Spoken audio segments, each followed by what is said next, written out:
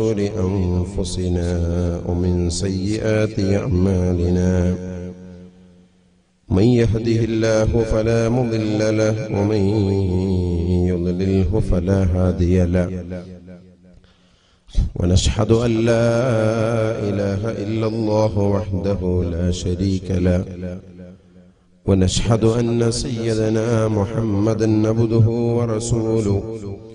أرسله بالهدى ودين الحق ليظهره على الدين كله ولو كره المشركون.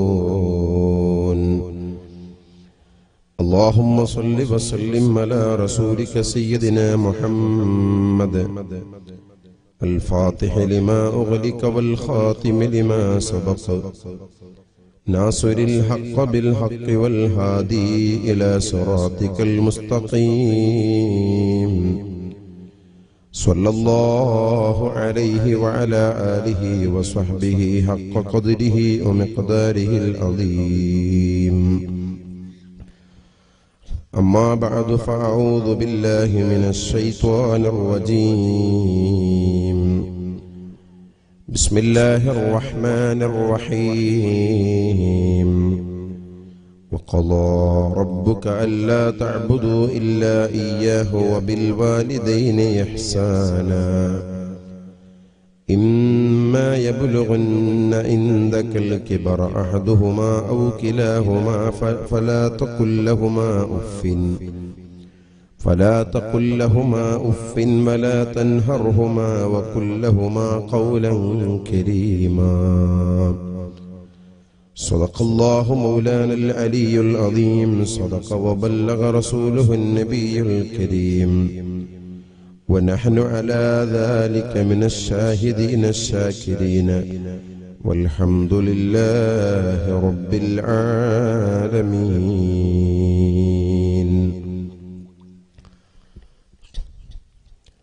يا خير من دفنت بالقاء يعظمه. فطاب من طيبهن القاء والأكم. نفس الفداء لقبر أنت ساكنه. فيه العفاف وفيه الجود والكرم. يا رب بالمصطفى بلغ مقاصدنا واغفر لنا ما مضى يا واسع الكرم. مولاي صل وسلم دائما أبدا على حبيبك خير الخلق كلهم. بهمانا نرنيا ധന്യരായ കോളിയൂർ ഉസ്താദ് അവർകൾ. ഇവിടത്തെ ഹത്തീബ് ഉസ്താദ് ബഹുമാനപ്പെട്ട അബ്ദുള്ള സഹദി മറ്റു ഉസ്താദുമാരെ ഒരുമിച്ച് കൂടിയ നാട്ടുകാരെ സഹോദര സഹോദരിമാരെ.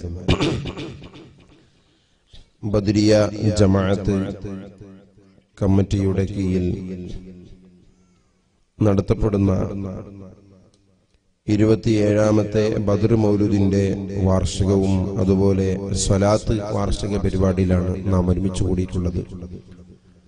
അള്ളാഹു അവൻ പൊരുത്തപ്പെട്ട മജ്ലിസുകളുടെ കൂട്ടത്തിൽ അള്ളാഹു നമ്മുടെ ഈ മജ്ലിസിനെ ഉൾപ്പെടുത്തി തെരുമാറാകട്ടെ.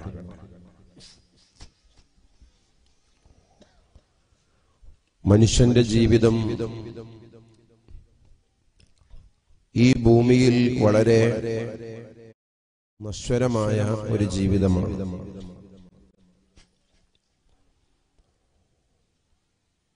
നമുക്ക് പാരത്രികമായ ഒരു ജീവിതം വരാനുണ്ട്. അവിടുത്തെ വിജയമാണ് നാം ആഗ്രഹിക്കുന്നത്. ഈ ദുനിയാവിലെ വിജയവും സന്തോഷവും അല്ല നമ്മുടെ ലക്ഷ്യം. മറിച്ച് നാളെ ആഹൃത്തിലെ വിജയവും അവിടുത്തെ സന്തോഷവുമാണ് മുഗ്മിനായ മനുഷ്യന്റെ ജീവിതം.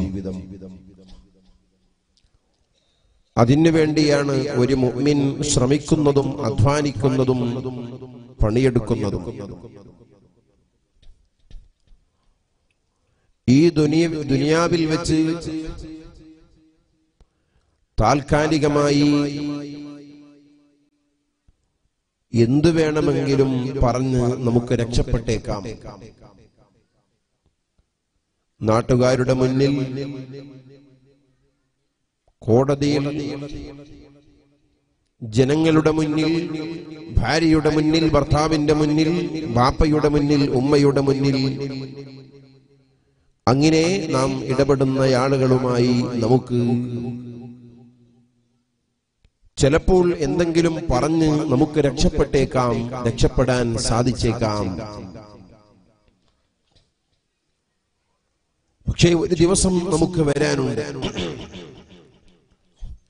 ആ ദിവസം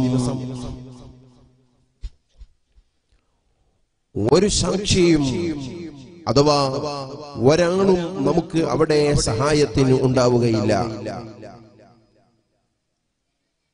അവിടെ കൈക്കൂലികൾ നടക്കുന്ന ഒരു സാഹചര്യം ഇല്ല. അവിടെ ഒച്ചയിട്ട് സംസാരിക്കുന്നവനിക്ക് വിജയം നേടുന്ന ഒരു ദിവസം അല്ലെങ്കിൽ കോടതിയല്ല.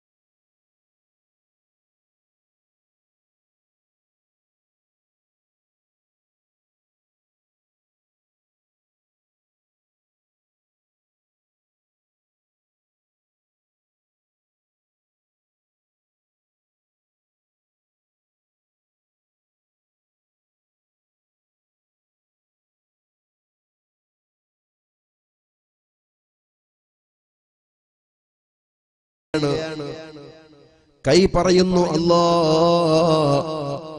ഈ മനുഷ്യൻ ഇന്നത് ചെയ്തിട്ടുണ്ട്. ഇന്നത് പറഞ്ഞിട്ടുണ്ട് ഞാൻ സാക്ഷിയാണ്. കൈ പറയുന്നു ഇന്നത് ഈ മനുഷ്യൻ പറഞ്ഞിട്ടുണ്ട്. ഇന്നത് ചെയ്തിട്ടുണ്ട്. ഇന്നത് കണ്ടിട്ടുണ്ട്. ഇന്നത് കേട്ടിട്ടുണ്ട്. ഇന്നത് പ്രവർത്തിച്ചിട്ടുണ്ട്. ആരാ പറയും നമ്മുടെ നാവുകളല്ല. നമ്മുടെ വായയിലല്ല സംസാരം ഖുർആനാണ് പറയുന്നത്. സൂറത്ത് യാസീനിലാണ്. എപ്പോഴും ഓതാറുള്ളതാണ്. അവരുടെ വായകളിലേക്ക് സീലിടപ്പെട്ടു പോയി. അവരുടെ കൈകൾ എന്നോട് സംസാരിക്കുന്നു. കൈകൾ സംസാരിക്കുമ്പോൾ കൈ പറയുമ്പോൾ അർജുലുഹും ആ കൈകൾ സംസാരിക്കുന്ന സമയത്ത് കാൽ പറയുന്നു കൈ പറഞ്ഞത് ശരിയാണ്. അവരുടെ കാലുകൾ അതിന് സാക്ഷി പറയുന്നു കാൽ പറയുന്നു കൈ പറഞ്ഞത് ശരിയാണ്. കൈ പറഞ്ഞത് ശരിയാണ്. ആ കൈനെ സാക്ഷ്യപ്പെടുത്തുന്നതാണ് കാലുകൾ. അർജുലുഹും ബിമാ കാനോ യക്സിബൂൻ. അവർ ചെയ്ത മുഴുവൻ കാര്യങ്ങളും അവർ ചെയ്തു പോയ മുഴുവൻ കാര്യങ്ങളും. ഓ മുഅ്മിനീങ്ങളെ ചെറുപ്പക്കാരെ സഹോദരിമാരെ ഉമ്മമാരെ ഒരു മനുഷ്യന്റെ ജീവിതത്തിൽ എന്തെല്ലാം ചെയ്തിട്ടുണ്ടോ എന്തെല്ലാം പ്രവർത്തിച്ചിട്ടുണ്ടോ ആ പ്രവർത്തനങ്ങളെ മുഴുവനും ആ മുഴുവൻ പറച്ചിലുകളെയും മുഴുവൻ വാക്കുകളെയും മുഴുവൻ പ്രവർത്തനങ്ങളെയും പരിശുദ്ധ ഖുർആൻ പറയുന്നു ബിമാ കാനൂ യക്സിബൂൻ. അവൻ ചെയ്ത മുഴുവൻ കാര്യങ്ങളെ സംബന്ധിച്ചും കൈ റബ്ബിനോട് വളരെ വ്യക്തമായി പറയുകയാണ് കൈ സംസാരിക്കുകയാണ് കൈ അത് മുഴുവനും ഓരോന്നോരോന്ന് വിശദീകരിക്കുകയാണ്. ആ കൈ പറയുമ്പോൾ അപ്പോൾ കാലതിന് സാക്ഷി പറയുന്നു. കാലകൾ സാക്ഷി പറയുന്നു. സഹോദരന്മാരെ നമ്മൾ മനസ്സിലാക്കണം അള്ളാഹുവിന്റെ കോടതി. പടച്ചവന്റെ കോടതി എന്ന് പറയുന്നത് വിചാരണയുടെ ദിവസം എന്ന് പറയുന്നത്. ആ വിചാരണയുടെ ദിവസം വളരെ കഠിന കഠോരമാണ്. വളരെ ഭയാനകമാണ്. ഞാനും നിങ്ങളും നേരിടാനുള്ള ഒരു ദിവസമാണത്. ആ ദിവസത്തെ സംബന്ധിച്ചാണ് പരിശുദ്ധ ഖുർആൻ പറയുന്നത്. കൈകൾ സംസാരിക്കുന്നു കാലുകൾ സാക്ഷി പറയുന്നു. ജീവിതത്തിൽ ചെയ്തു പോയ മുഴുവൻ കാര്യങ്ങളെക്കുറിച്ചും നമ്മുടെ കൈകൾ എല്ലാം വിശദീകരിച്ച് കൊടുക്കുകയാണ്. അതുകൊണ്ട് സഹോദരന്മാരെ നമ്മുടെ പ്രവർത്തനങ്ങൾ അള്ളാഹു താര ഇഷ്ടപ്പെടുന്ന പ്രവർത്തനങ്ങളാകണം. അള്ളാഹു പൊരുത്തപ്പെടുന്ന പ്രവർത്തനങ്ങളാകണം. ആ പടച്ചവന്റെ മുന്നിൽ നമ്മുടെ കൈകൾ അത് പറയുമെന്ന ബോധം വേണം. അള്ളാഹുവിന്റെ മുന്നിൽ അത് വിശദീകരിക്കപ്പെടുമെന്ന ഒരു ഒരു ബോധം വേണം. നബി സല്ലല്ലാഹു അലൈഹി വസല്ലമ തങ്ങൾ പറയുന്നു لا تزال قدم ابن آدم حتى يسأل عن عمره فيما أفنى وعن شبابه فيما أبلى وعن ماله من أين اكتسب وفيما أنفقا പരിശുദ്ധ ഖുർആനാണ് പറയുന്നത് ഒരു മനുഷ്യൻ നാളെ റബ്ബിന്റെ കോടതിയിൽ എത്തിക്കഴിഞ്ഞാൽ അള്ളാഹുവിന്റെ കോടതിയിൽ ഒരു മനുഷ്യൻ എത്തിക്കഴിഞ്ഞാൽ ആ മനുഷ്യന്റെ കാലെടുത്ത് വെക്കാൻ ഒരിക്കലും തന്നെ അനുവദിക്കുകയില്ല. എവിടെയാണ് മഹ്ഷറയെ സംബന്ധിച്ച പറയുന്നത്? ഒരു ചാണ് മുകളിൽ സൂര്യനാണ്. നമ്മുടെ ദുനിയാവിൽ വെച്ച് ഒരു ഉച്ച സമയത്ത് എത്രയോ കിലോമീറ്റർ കോടിക്കണക്കിന് കിലോമീറ്റർ അപ്പുറമുള്ള സൂര്യന്റെ വെളിച്ചം ആ സൂര്യന്റെ വെളിച്ചം ആസ്വദിക്കാൻ നമുക്ക് സാധിക്കുന്നില്ല. എന്താ കാരണം? അത്രയും ചൂടാണ്. ആ ചൂടിനെ സഹിക്കാൻ നമുക്ക് സാധിക്കുന്നില്ലെങ്കിൽ അള്ളാഹുവിന്റെ ഹബീബായ മുത്തു റസൂലുള്ളാഹി സല്ലല്ലാഹു അലൈഹി വസല്ലമ തങ്ങൾ പറയുന്നു നാളെ മഹ്ശറിൽ ഒരുമിച്ച് കൂട്ടപ്പെടുമ്പോൾ ചില ആളുകളുടെ നിര്യാണി വരെ വിയർപ്പാണ്. ചില ആളുകളുടെ മുട്ടുവരെ വിയർപ്പാണ്. ചിലരുടെ അരവരെ വിയർപ്പാണ്. ചിലരുടെ കടുത്തുവരെ വിയർപ്പാണ്. ആ നിലയ്ക്ക് മുങ്ങിക്കുളിക്കുന്ന സമയത്ത് വിയർപ്പിൽ മുങ്ങിക്കുളിക്കുന്ന സമയം ഒരാൾക്കും രക്ഷയില്ലാത്ത സമയത്ത് എല്ലാവരും നഫ്സി നഫ്സി എന്ന് ചിന്തിച്ചു കൊണ്ടിരിക്കുമ്പോൾ നബി സല്ലല്ലാഹു അലൈഹി വസല്ലമ തങ്ങൾ പറയുന്നു ബാപ്പ മുന്നിലുണ്ട് ചിന്തിക്കുന്നില്ല ഉമ്മ മുന്നിലുണ്ട് അറിയുന്നില്ല ഭാര്യയുണ്ട് വേണ്ടേ വേണ്ട മക്കളുണ്ട് അവരെ കുറിച്ചൊരു ബോധവും ഇല്ല ഇങ്ങനെ ഒരാളെ കുറിച്ചും ചിന്തിക്കാതെ ഒരാളെ കുറിച്ചും ആലോചിക്കാതെ സ്വന്തം ശരീരത്തെ കുറിച്ച് എനിക്ക് രക്ഷയുണ്ടോ രക്ഷയുണ്ടോ എന്ന് പടച്ചവനോട് രക്ഷയെ കുറിച്ച് തേടുന്ന ഒരു ദിവസമാണത്. വിയർപ്പിൽ മുങ്ങിക്കുളിക്കുന്ന സമയമാണത്. ഒരു ചാണ് മുകളിൽ സൂര്യനുദിക്കുന്ന സമയമാണ്. ആ സമയത്താണ് നബി സല്ലല്ലാഹു അലൈഹി വസല്ലമ തങ്ങൾ പറയുന്നു ലാ തസാലു ബനി ആദമ ഹത്താ യുസ്അല عن ഉംരിഹി فيما أفنى നിന്ന നൃത്തത്തിൽ നിന്ന് ഒരു മനുഷ്യന്റെ കാൽ അനക്കാൻ സാധ്യമല്ല. വിചാരണയുടെ കോലമാണ്. അള്ളാഹുവിന്റെ കോടതിയിലുള്ള വിചാരണയാണ്. നബി സല്ലല്ലാഹു അലൈഹി വസല്ലമ തങ്ങൾ പറയുന്നു ഹത്താ യുസ്അല അൻ ഉംരിഹി ഫീമ അഫ്നാ.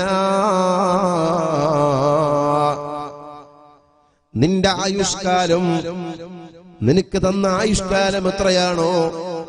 ഒരു കൊല്ലമാണോ രണ്ടു കൊല്ലമാണോ? അഞ്ചു കൊല്ലമാണോ പത്തു വർഷമാണോ ഇരുപതാണോ മുപ്പതാണോ അൻപതോ അറുപതോ എഴുപതോ നൂറോ? അള്ളാഹു സുബാനഹുതാല തന്ന ആയുഷ്കാലത്തെ കുറിച്ച് നിന്നോട് ചോദ്യം ചെയ്യപ്പെടും. ആ ആയുഷ്കാലത്തെ കുറിച്ച് മുഴുവൻ നീ റബ്ബിനോട് കണക്ക് പറയണം. കണക്ക് പറയാതെ നിന്റെ കാലനക്കാൻ സാധ്യമല്ല. നമ്മുടെ ജീവിതത്തിലെ ഓരോ നിമിഷങ്ങളെ കുറിച്ച് ഓരോ സെക്കൻഡുകളെ കുറിച്ച് ഓരോ വാക്കുകളെ കുറിച്ച് അള്ളാഹുവിനോട് നമ്മൾ മറുപടി പറയണം. പരിശുദ്ധ ഖുർആൻ പറയുന്നു അള്ളാഹുവിന്റെ പരിശുദ്ധ ഖുർആൻ വളരെ വ്യക്തമായി പഠി- പഠിപ്പിക്കുകയാണ്. നിങ്ങളുടെ ഓരോ സംസാരങ്ങളും നിങ്ങളുടെ ഓരോ പ്രവർത്തനങ്ങളും ഓരോ ഓരോ വാക്കുകളും അതാത് സമയത്ത് കൃത്യമായി റിക്കാർഡ് ചെയ്യപ്പെട്ടുകൊണ്ടിരിക്കുന്നു.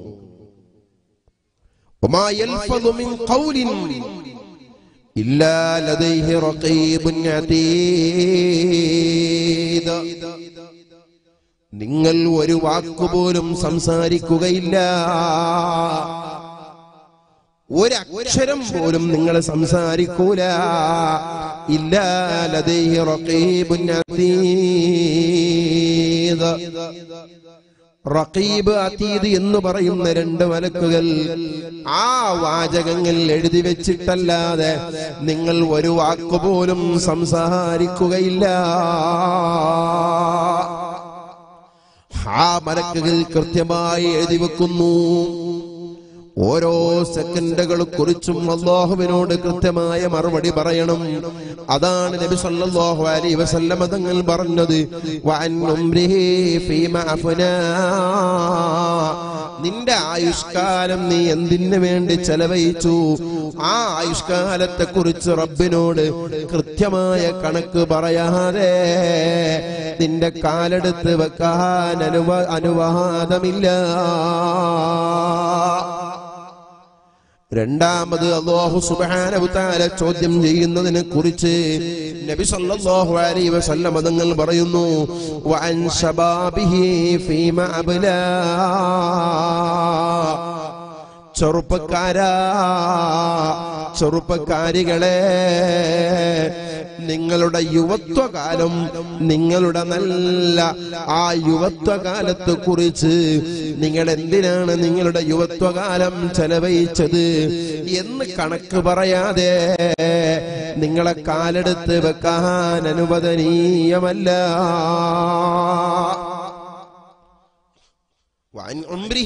അഫ്നാ നിന്റെ ആയുഷ്കാലം നീ എന്തിന് ചെലവഴിച്ചു എന്നതിനെ കുറിച്ച് കണക്ക് പറയണം എന്ന് പറഞ്ഞതിൽ ജനിച്ച അന്നു മുതൽ മരിക്കുന്ന അന്ന് വരെയുള്ള കണക്ക് മുഴുവനും പെട്ടു. പക്ഷേ അള്ളാഹു താല പ്രത്യേകം ചോദ്യം ചെയ്യുന്നതിനെ കുറിച്ച് തങ്ങൾ പറയുന്നു. യുവത്വകാലം അതിനെക്കുറിച്ച് പ്രത്യേകം ചോദ്യമുണ്ട്. യുവത്വകാലത്തെ കുറിച്ച് പ്രത്യേകം ചോദ്യമുണ്ട്. എന്താ കാരണം? അള്ളാഹുവിന്റെ ഹബീബ് സല്ലാഹു അലി വസല്ലം തങ്ങൾ പറയുന്നു യുവത്വ കാലം എന്നുള്ളത് അത് ഒരു വലിയ മഹത്വമുള്ള ഒരു കാലമാണ്. മനുഷ്യന്റെ ജീവിതത്തിൽ വളരെ നിർണായകമായ പറയാൻ പറ്റിയ ഒരു കാലമാണ് യുവത്വകാലം എന്നുള്ളത്. ആ കാലത്തെ കുറിച്ച് അള്ളാഹുവിനോട് പ്രത്യേകം അതിന്റെ കണക്കുകൾ പറയണം പറയണം. മനുഷ്യന്റെ ജീവിതം മൂന്ന് ഘട്ടങ്ങളായിട്ടാണ് ബാഹുത്താല താല തന്നിട്ടുള്ളത്. ഒന്ന് ബാല്യകാലം. കുട്ടിക്കാലം. ഒരു കുട്ടിയെ പ്രസവിച്ചു. ആ കുഞ്ഞിങ്ങനെ വലുതായി വലുതായി വരുമ്പോ ഈ ചെറിയ കുട്ടിക്ക് സ്വന്തമായി ഒന്നും ചെയ്യാൻ കഴിയില്ല. മറ്റുള്ളവരുടെ സഹായം വേണം. ഉമ്മയുടെ സഹായം വേണം. ബാപ്പയുടെ സഹായം വേണം. പലരുടെയും സഹായത്താലാണ് ഈ കുട്ടി തീരുമാനങ്ങൾ എടുക്കുന്നത് ഇടപെടുന്നത്. ആ കുട്ടിക്ക് സ്വന്തം ഒന്നും ചെയ്യാൻ കഴിയില്ല. ഉമ്മ വേണം ബാപ്പ വേണം കുടുംബക്കാര് കൂട്ടുകാരൊക്കെ വേണം.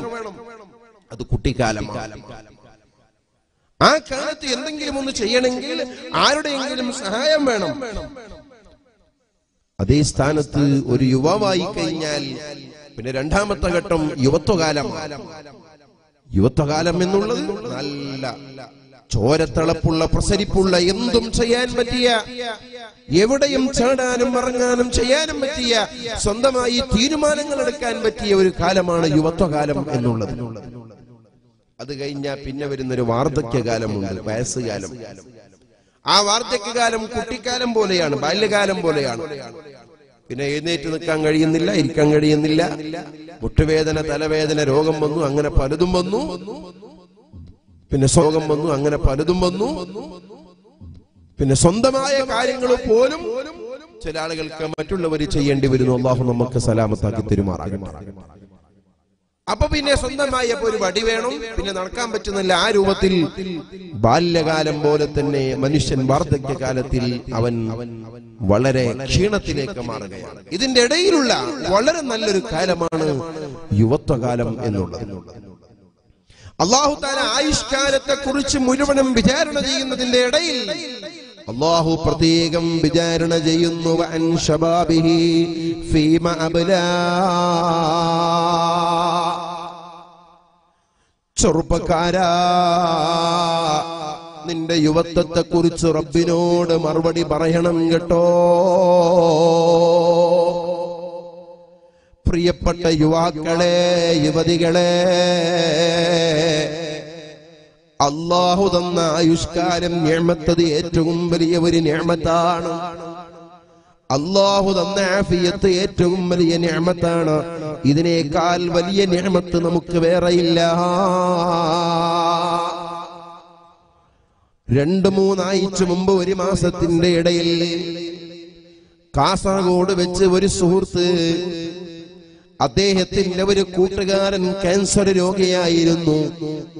അങ്ങനെ തിരുവനന്തപുരത്ത് ആർ സി സിയിൽ വെച്ച് കേരളത്തിലെ ഏറ്റവും വലിയ ക്യാൻസർ സെന്ററായ തിരുവനന്തപുരത്തെ ക്യാൻസർ സെന്ററിൽ വെച്ച് ആ ചെറുപ്പക്കാരൻ തന്റെ കൂട്ടുകാരനായ രോഗിയുടെ കൂടെ ഒരു മാസത്തോളം താമസിച്ചിരുന്നു.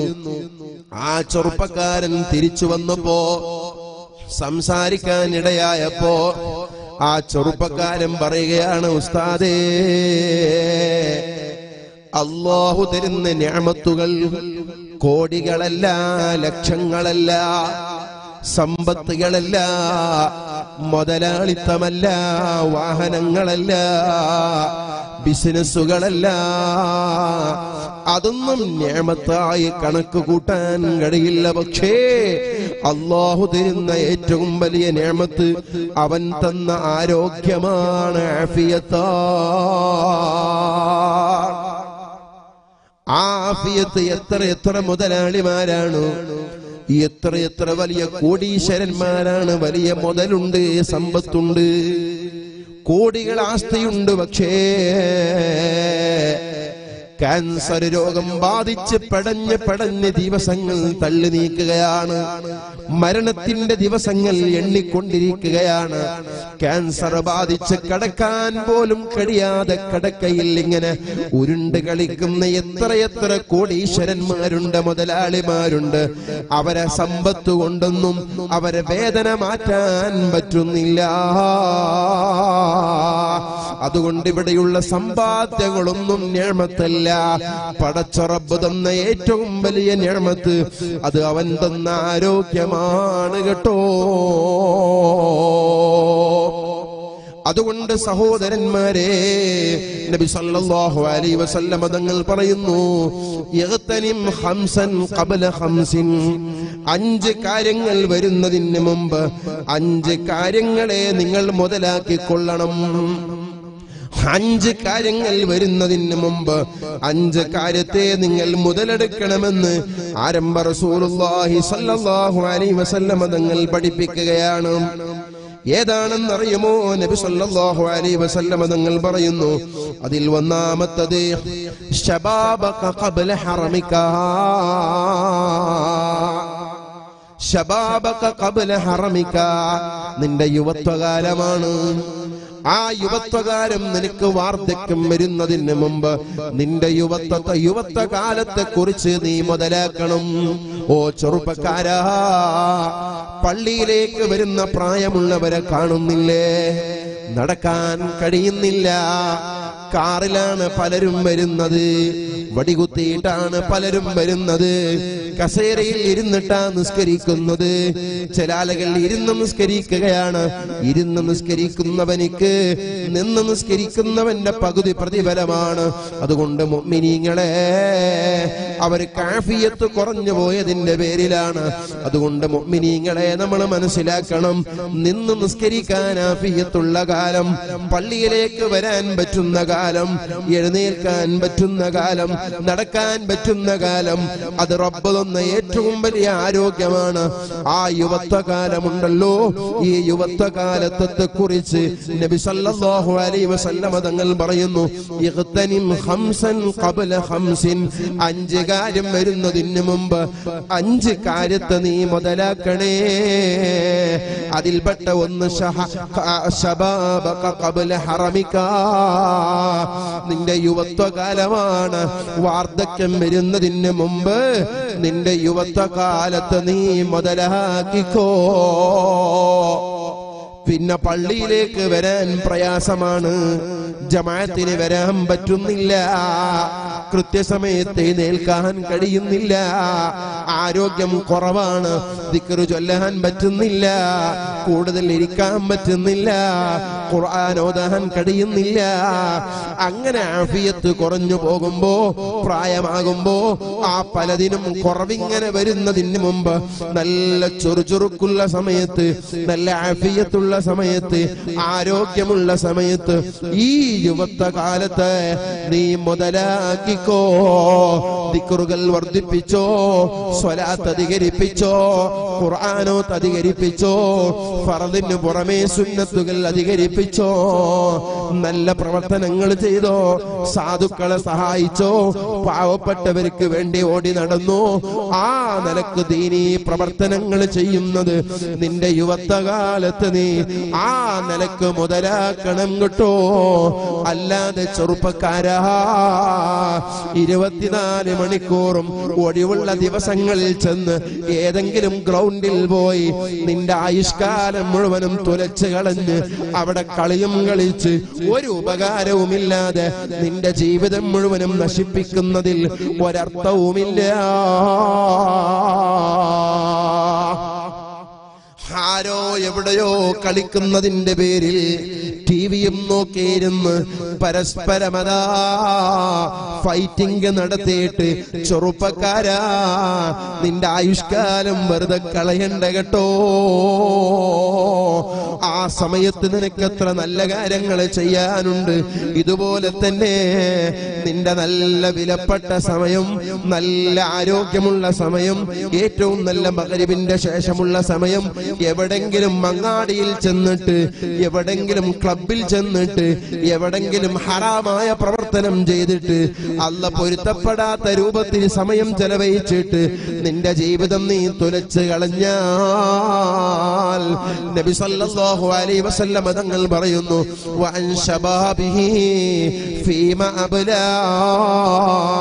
നിന്റെ യുവത്വത്തെ കുറിച്ച് നീ എന്തിന് ചെലവഴിച്ചു എന്ന് റബ്ബിനോട് കൃത്യമായ കണക്ക് പറയണമെന്ന് ലോകത്തിന്റെ നേതാവായ മുഹമ്മദുർ റസൂലുള്ളാഹി. സല്ലല്ലാഹു അലൈഹി വസല്ലം തങ്ങൾ പഠിപ്പിക്കുകയാണ്. സഹോദരന്മാരെ അല്ലാഹു തരുന്ന ആഫിയത്തും ആരോഗ്യവും. അത് വലിയ നിഅമത്താണ് അള്ളാഹുവിന്റെ ഹബീബ് സല്ലല്ലാഹു അലൈഹി വസല്ലം തങ്ങൾ പറയുന്ന രണ്ടാമത്തെ കാര്യം നിനക്ക് രോഗം വരുന്നതിന് മുമ്പ് നിന്റെ ആഫിയത്തിനെ നീ മുതലാക്കണം. കുറെ ആളുകളുണ്ട്. നല്ല ആഫിയത്തുള്ള കാലത്ത് അള്ളാനെ ഓർക്കൂല.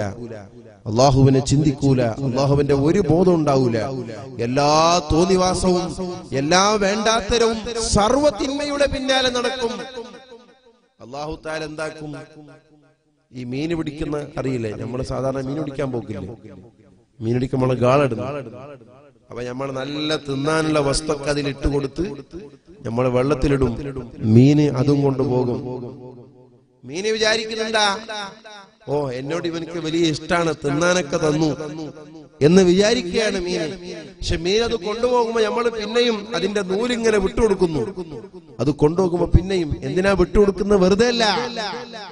ശരിക്കും ആ അത് ശരിക്കും തിന്ന് അകത്തായി എന്നായപ്പോ ഒറ്റ വലി ഒറ്റ പിടുത്തമാണ് ആ മീനിനെ നമ്മൾ പിടിച്ച് നമ്മൾ അതിനെ ഭക്ഷിക്കും ഇത് അള്ളാഹുവിന്റെ പരീക്ഷണമാണ്.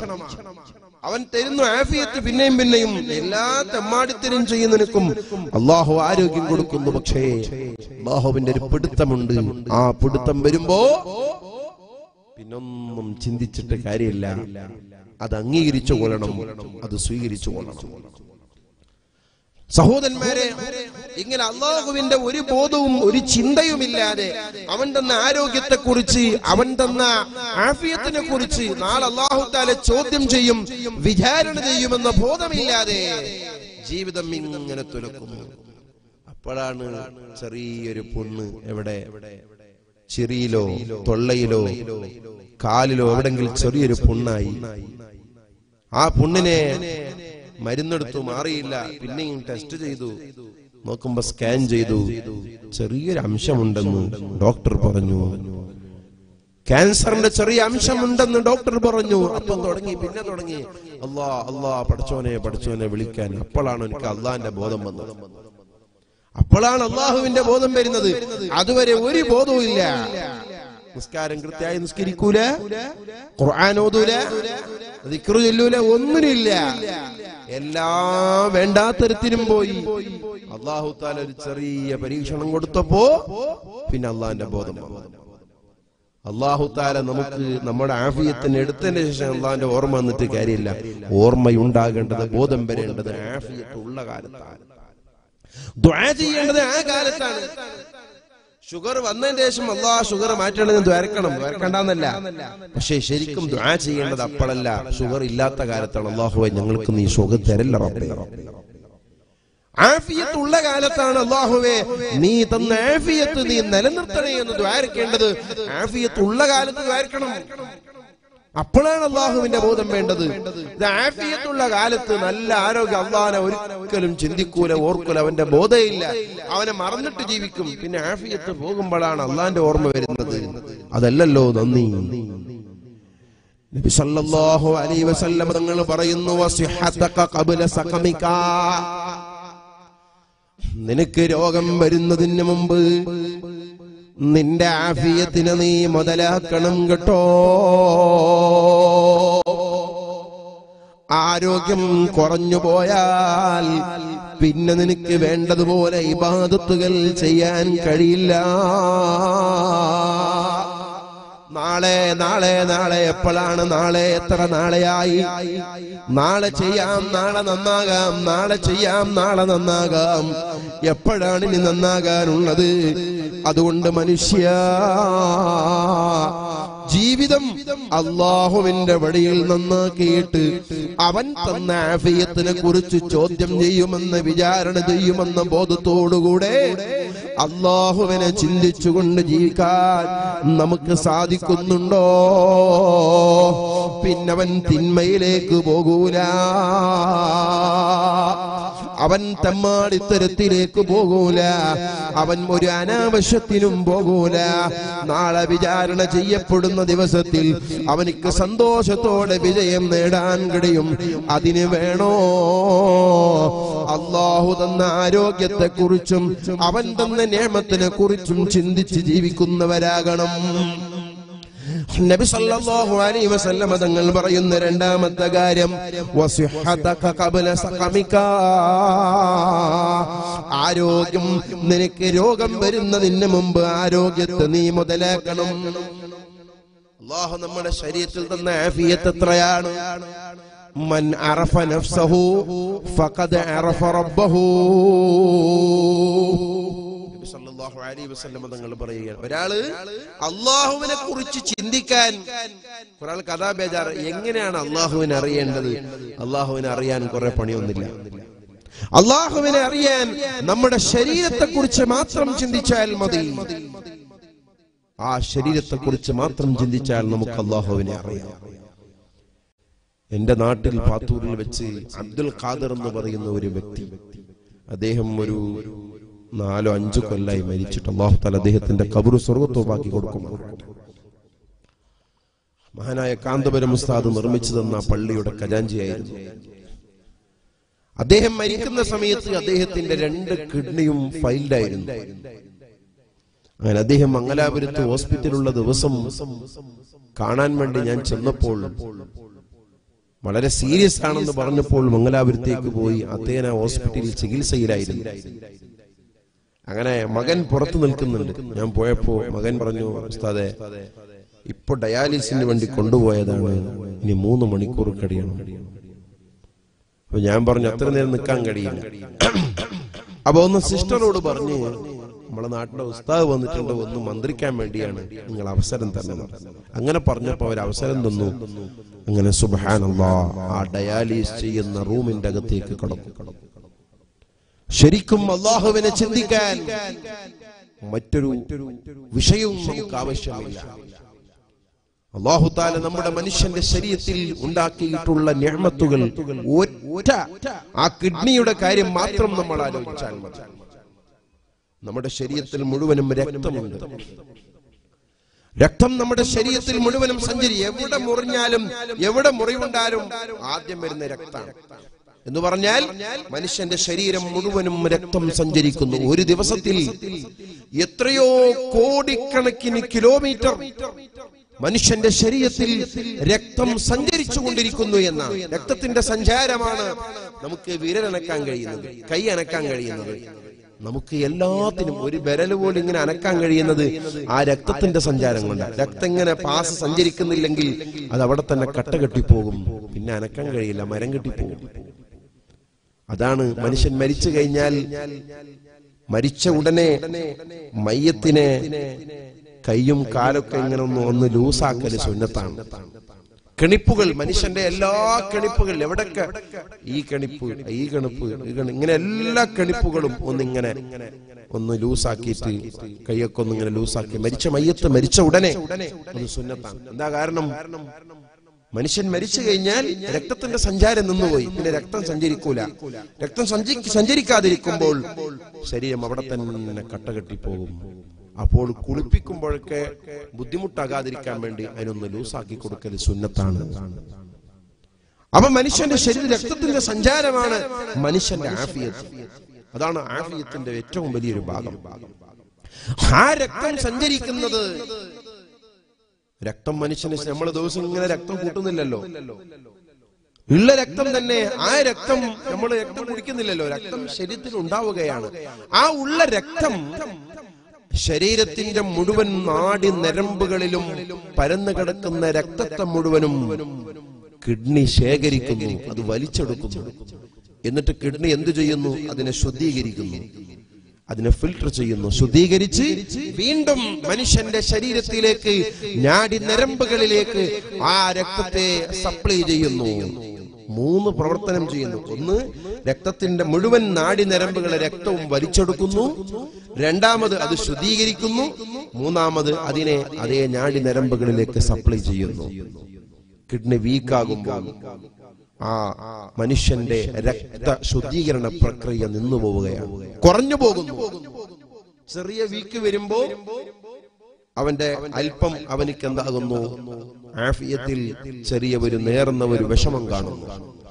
അങ്ങനെ എത്ര കണ്ട് കിഡ്നിയുടെ വീക്കുണ്ടോ അത്ര കണ്ട് മനുഷ്യന്റെ ആഫിയത്ത് കുറഞ്ഞു പോകുന്നു. നിന്നിടത്തുനിന്ന് വീഴുന്നു തളർച്ച ഉണ്ടാകുന്നു തലതിരിച്ചിൽ അങ്ങനെ പല രോഗത്തിനും ഹാർട്ട് ബ്ലോക്ക് അടക്കം അതിലൂടെ സംഭവിക്കുന്നു. ഇങ്ങനെ മനുഷ്യന്റെ രക്തസഞ്ചാരവും രക്തശുദ്ധീകരണവും നിന്നു പോകുമ്പോൾ അതിനെ പരിഹരിക്കാൻ വേണ്ടിയാണ് ഡയാലിസ് എന്ന് പറയുന്ന പ്രവർത്തനം. ഡയാലിസ് എന്ന് പറയുന്നത് മനുഷ്യന്റെ ശരീരത്തിലെ മുഴുവൻ രക്തത്തെയും പുറത്തേക്കെടുത്ത് ഈ മെഷീനിലൂടെ അതിനെ ശുദ്ധീകരിക്കുന്നു. മെഷീൻ എന്താക്കുന്നു? മെഷീനിലൂടെ രക്തം മുഴുവനും പുറത്തേക്കെടുത്ത് മെഷീനിൽ അതിനെ ശുദ്ധീകരിച്ച് വീണ്ടും ശരീരത്തിലേക്ക് സപ്ലൈ ചെയ്യുന്നു. നോക്കൂ നിങ്ങൾ. ഓരോരുത്തന്റെ കിഡ്നിയുടെ വീക്ക് അനുസരിച്ച് മാസത്തിൽ ഒരു പ്രാവശ്യം ഡയാലിസ് ചെയ്യുന്നവരുണ്ട്. മാസത്തിൽ രണ്ട് ചെയ്യുന്നവർ ആഴ്ചയിൽ ഒന്ന് ചെയ്യുന്നവർ ആഴ്ചയിൽ രണ്ട്. ആഴ്ചയിൽ മൂന്ന് ദിവസത്തിൽ ഒന്ന് ദിവസത്തിൽ രണ്ട്. ഓരോരുത്തന്റെ കിഡ്നിയുടെ വീക്കനുസരിച്ച് ഡയാലിസിസ് ചെയ്തുകൊണ്ടിരിക്കുന്നു. ആ ഡയാലിസിസ് ചെയ്യുമ്പോൾ മനുഷ്യന്റെ ശരീരത്തിന് രക്തം പുറത്തെടുക്കുമ്പോഴുള്ള വേദന.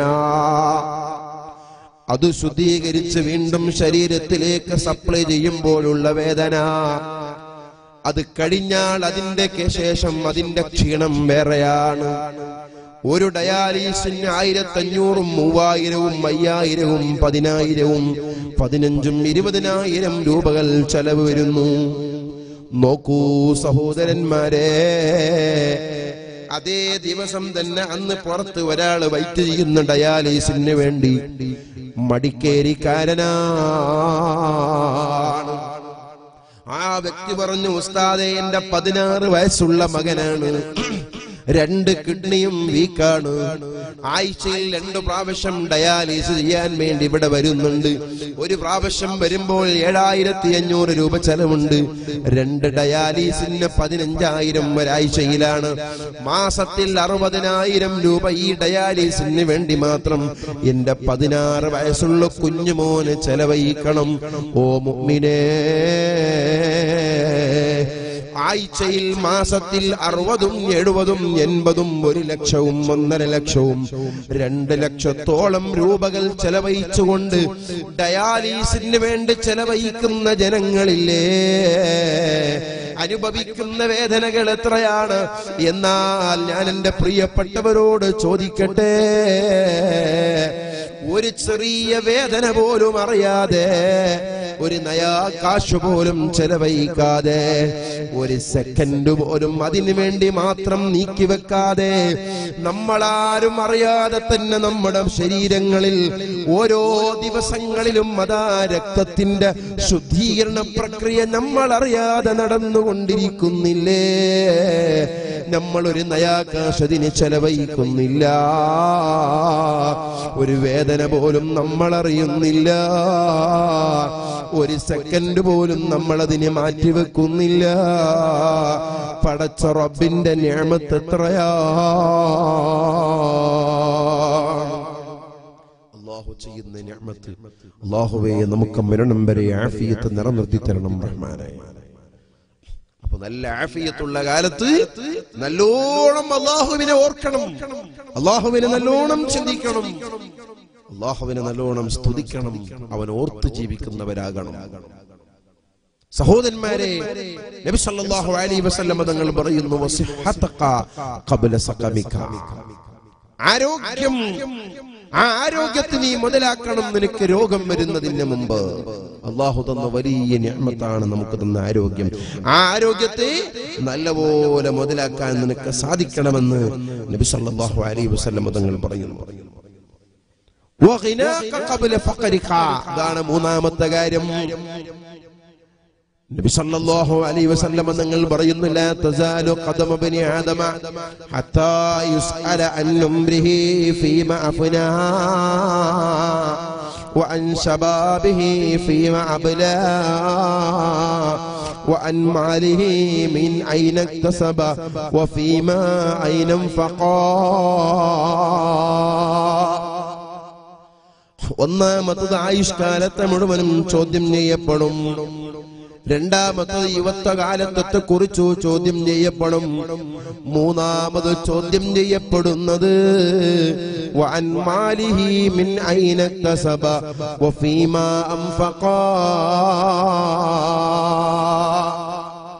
നീ സമ്പാദിക്കുന്ന നിന്റെ സമ്പാദ്യം. നീ എവിടെന്നാണ് സമ്പാദിക്കുന്നത്? അല്ല പൊരുത്തപ്പെട്ട മാർഗത്തിലൂടെയാണോ? അല്ല പൊരുത്തപ്പെടാത്ത മാർഗത്തിലൂടെയാണോ? വഫീമ അംഫഖാ ആ സമ്പത്തിനെ നീ ചെലവഴിക്കുന്നത്. അല്ല പൊരുത്തപ്പെട്ട മാർഗത്തിലാണോ നീ ചെലവഴിക്കുന്നത്? അല്ല പൊരുത്തപ്പെടാത്ത മാർഗത്തിലാണോ നീ ചെലവഴിക്കുന്നത്? എന്നതിനെ കുറിച്ച് കൃത്യമായ കണക്ക് പറയാതെ നിന്റെ കാലന കാലനക്കാൻ സാധ്യമല്ല. സഹോദരന്മാരെ നമ്മൾ മനസ്സിലാക്കണം.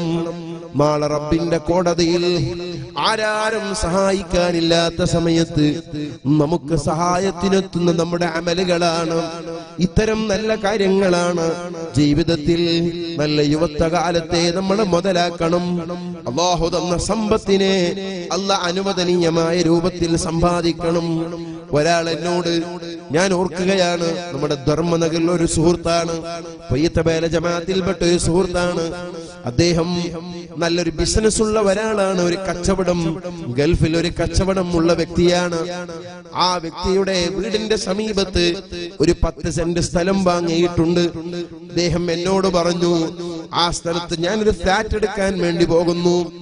ഞാൻ ചോദിച്ചു ഫ്ലാറ്റ് എടുക്കാൻ കുറെ പൈസ വേണ്ടേ? നല്ല പൈസ വേണം. ആ പൈസയിന് നിങ്ങൾക്ക് വരണമെങ്കിൽ എത്ര കാലം കഴിയണം? അപ്പൊ അയാൾ പറഞ്ഞു നല്ല ലോണ് കിട്ടും. ഞാൻ പറഞ്ഞു അല്ല സുഹൃത്തേ അള്ളാഹു നിനക്ക് ഹലാലായ സമ്പത്ത് എത്ര തന്നിട്ടുണ്ട്? നിനക്ക് ജീവിക്കാൻ സമ്പത്തല്ല തന്നിട്ടില്ലേ? വരുമാനത്തിനല്ല നിനക്ക് മഹീഷത്തിനല്ല തന്നിട്ടില്ലേ?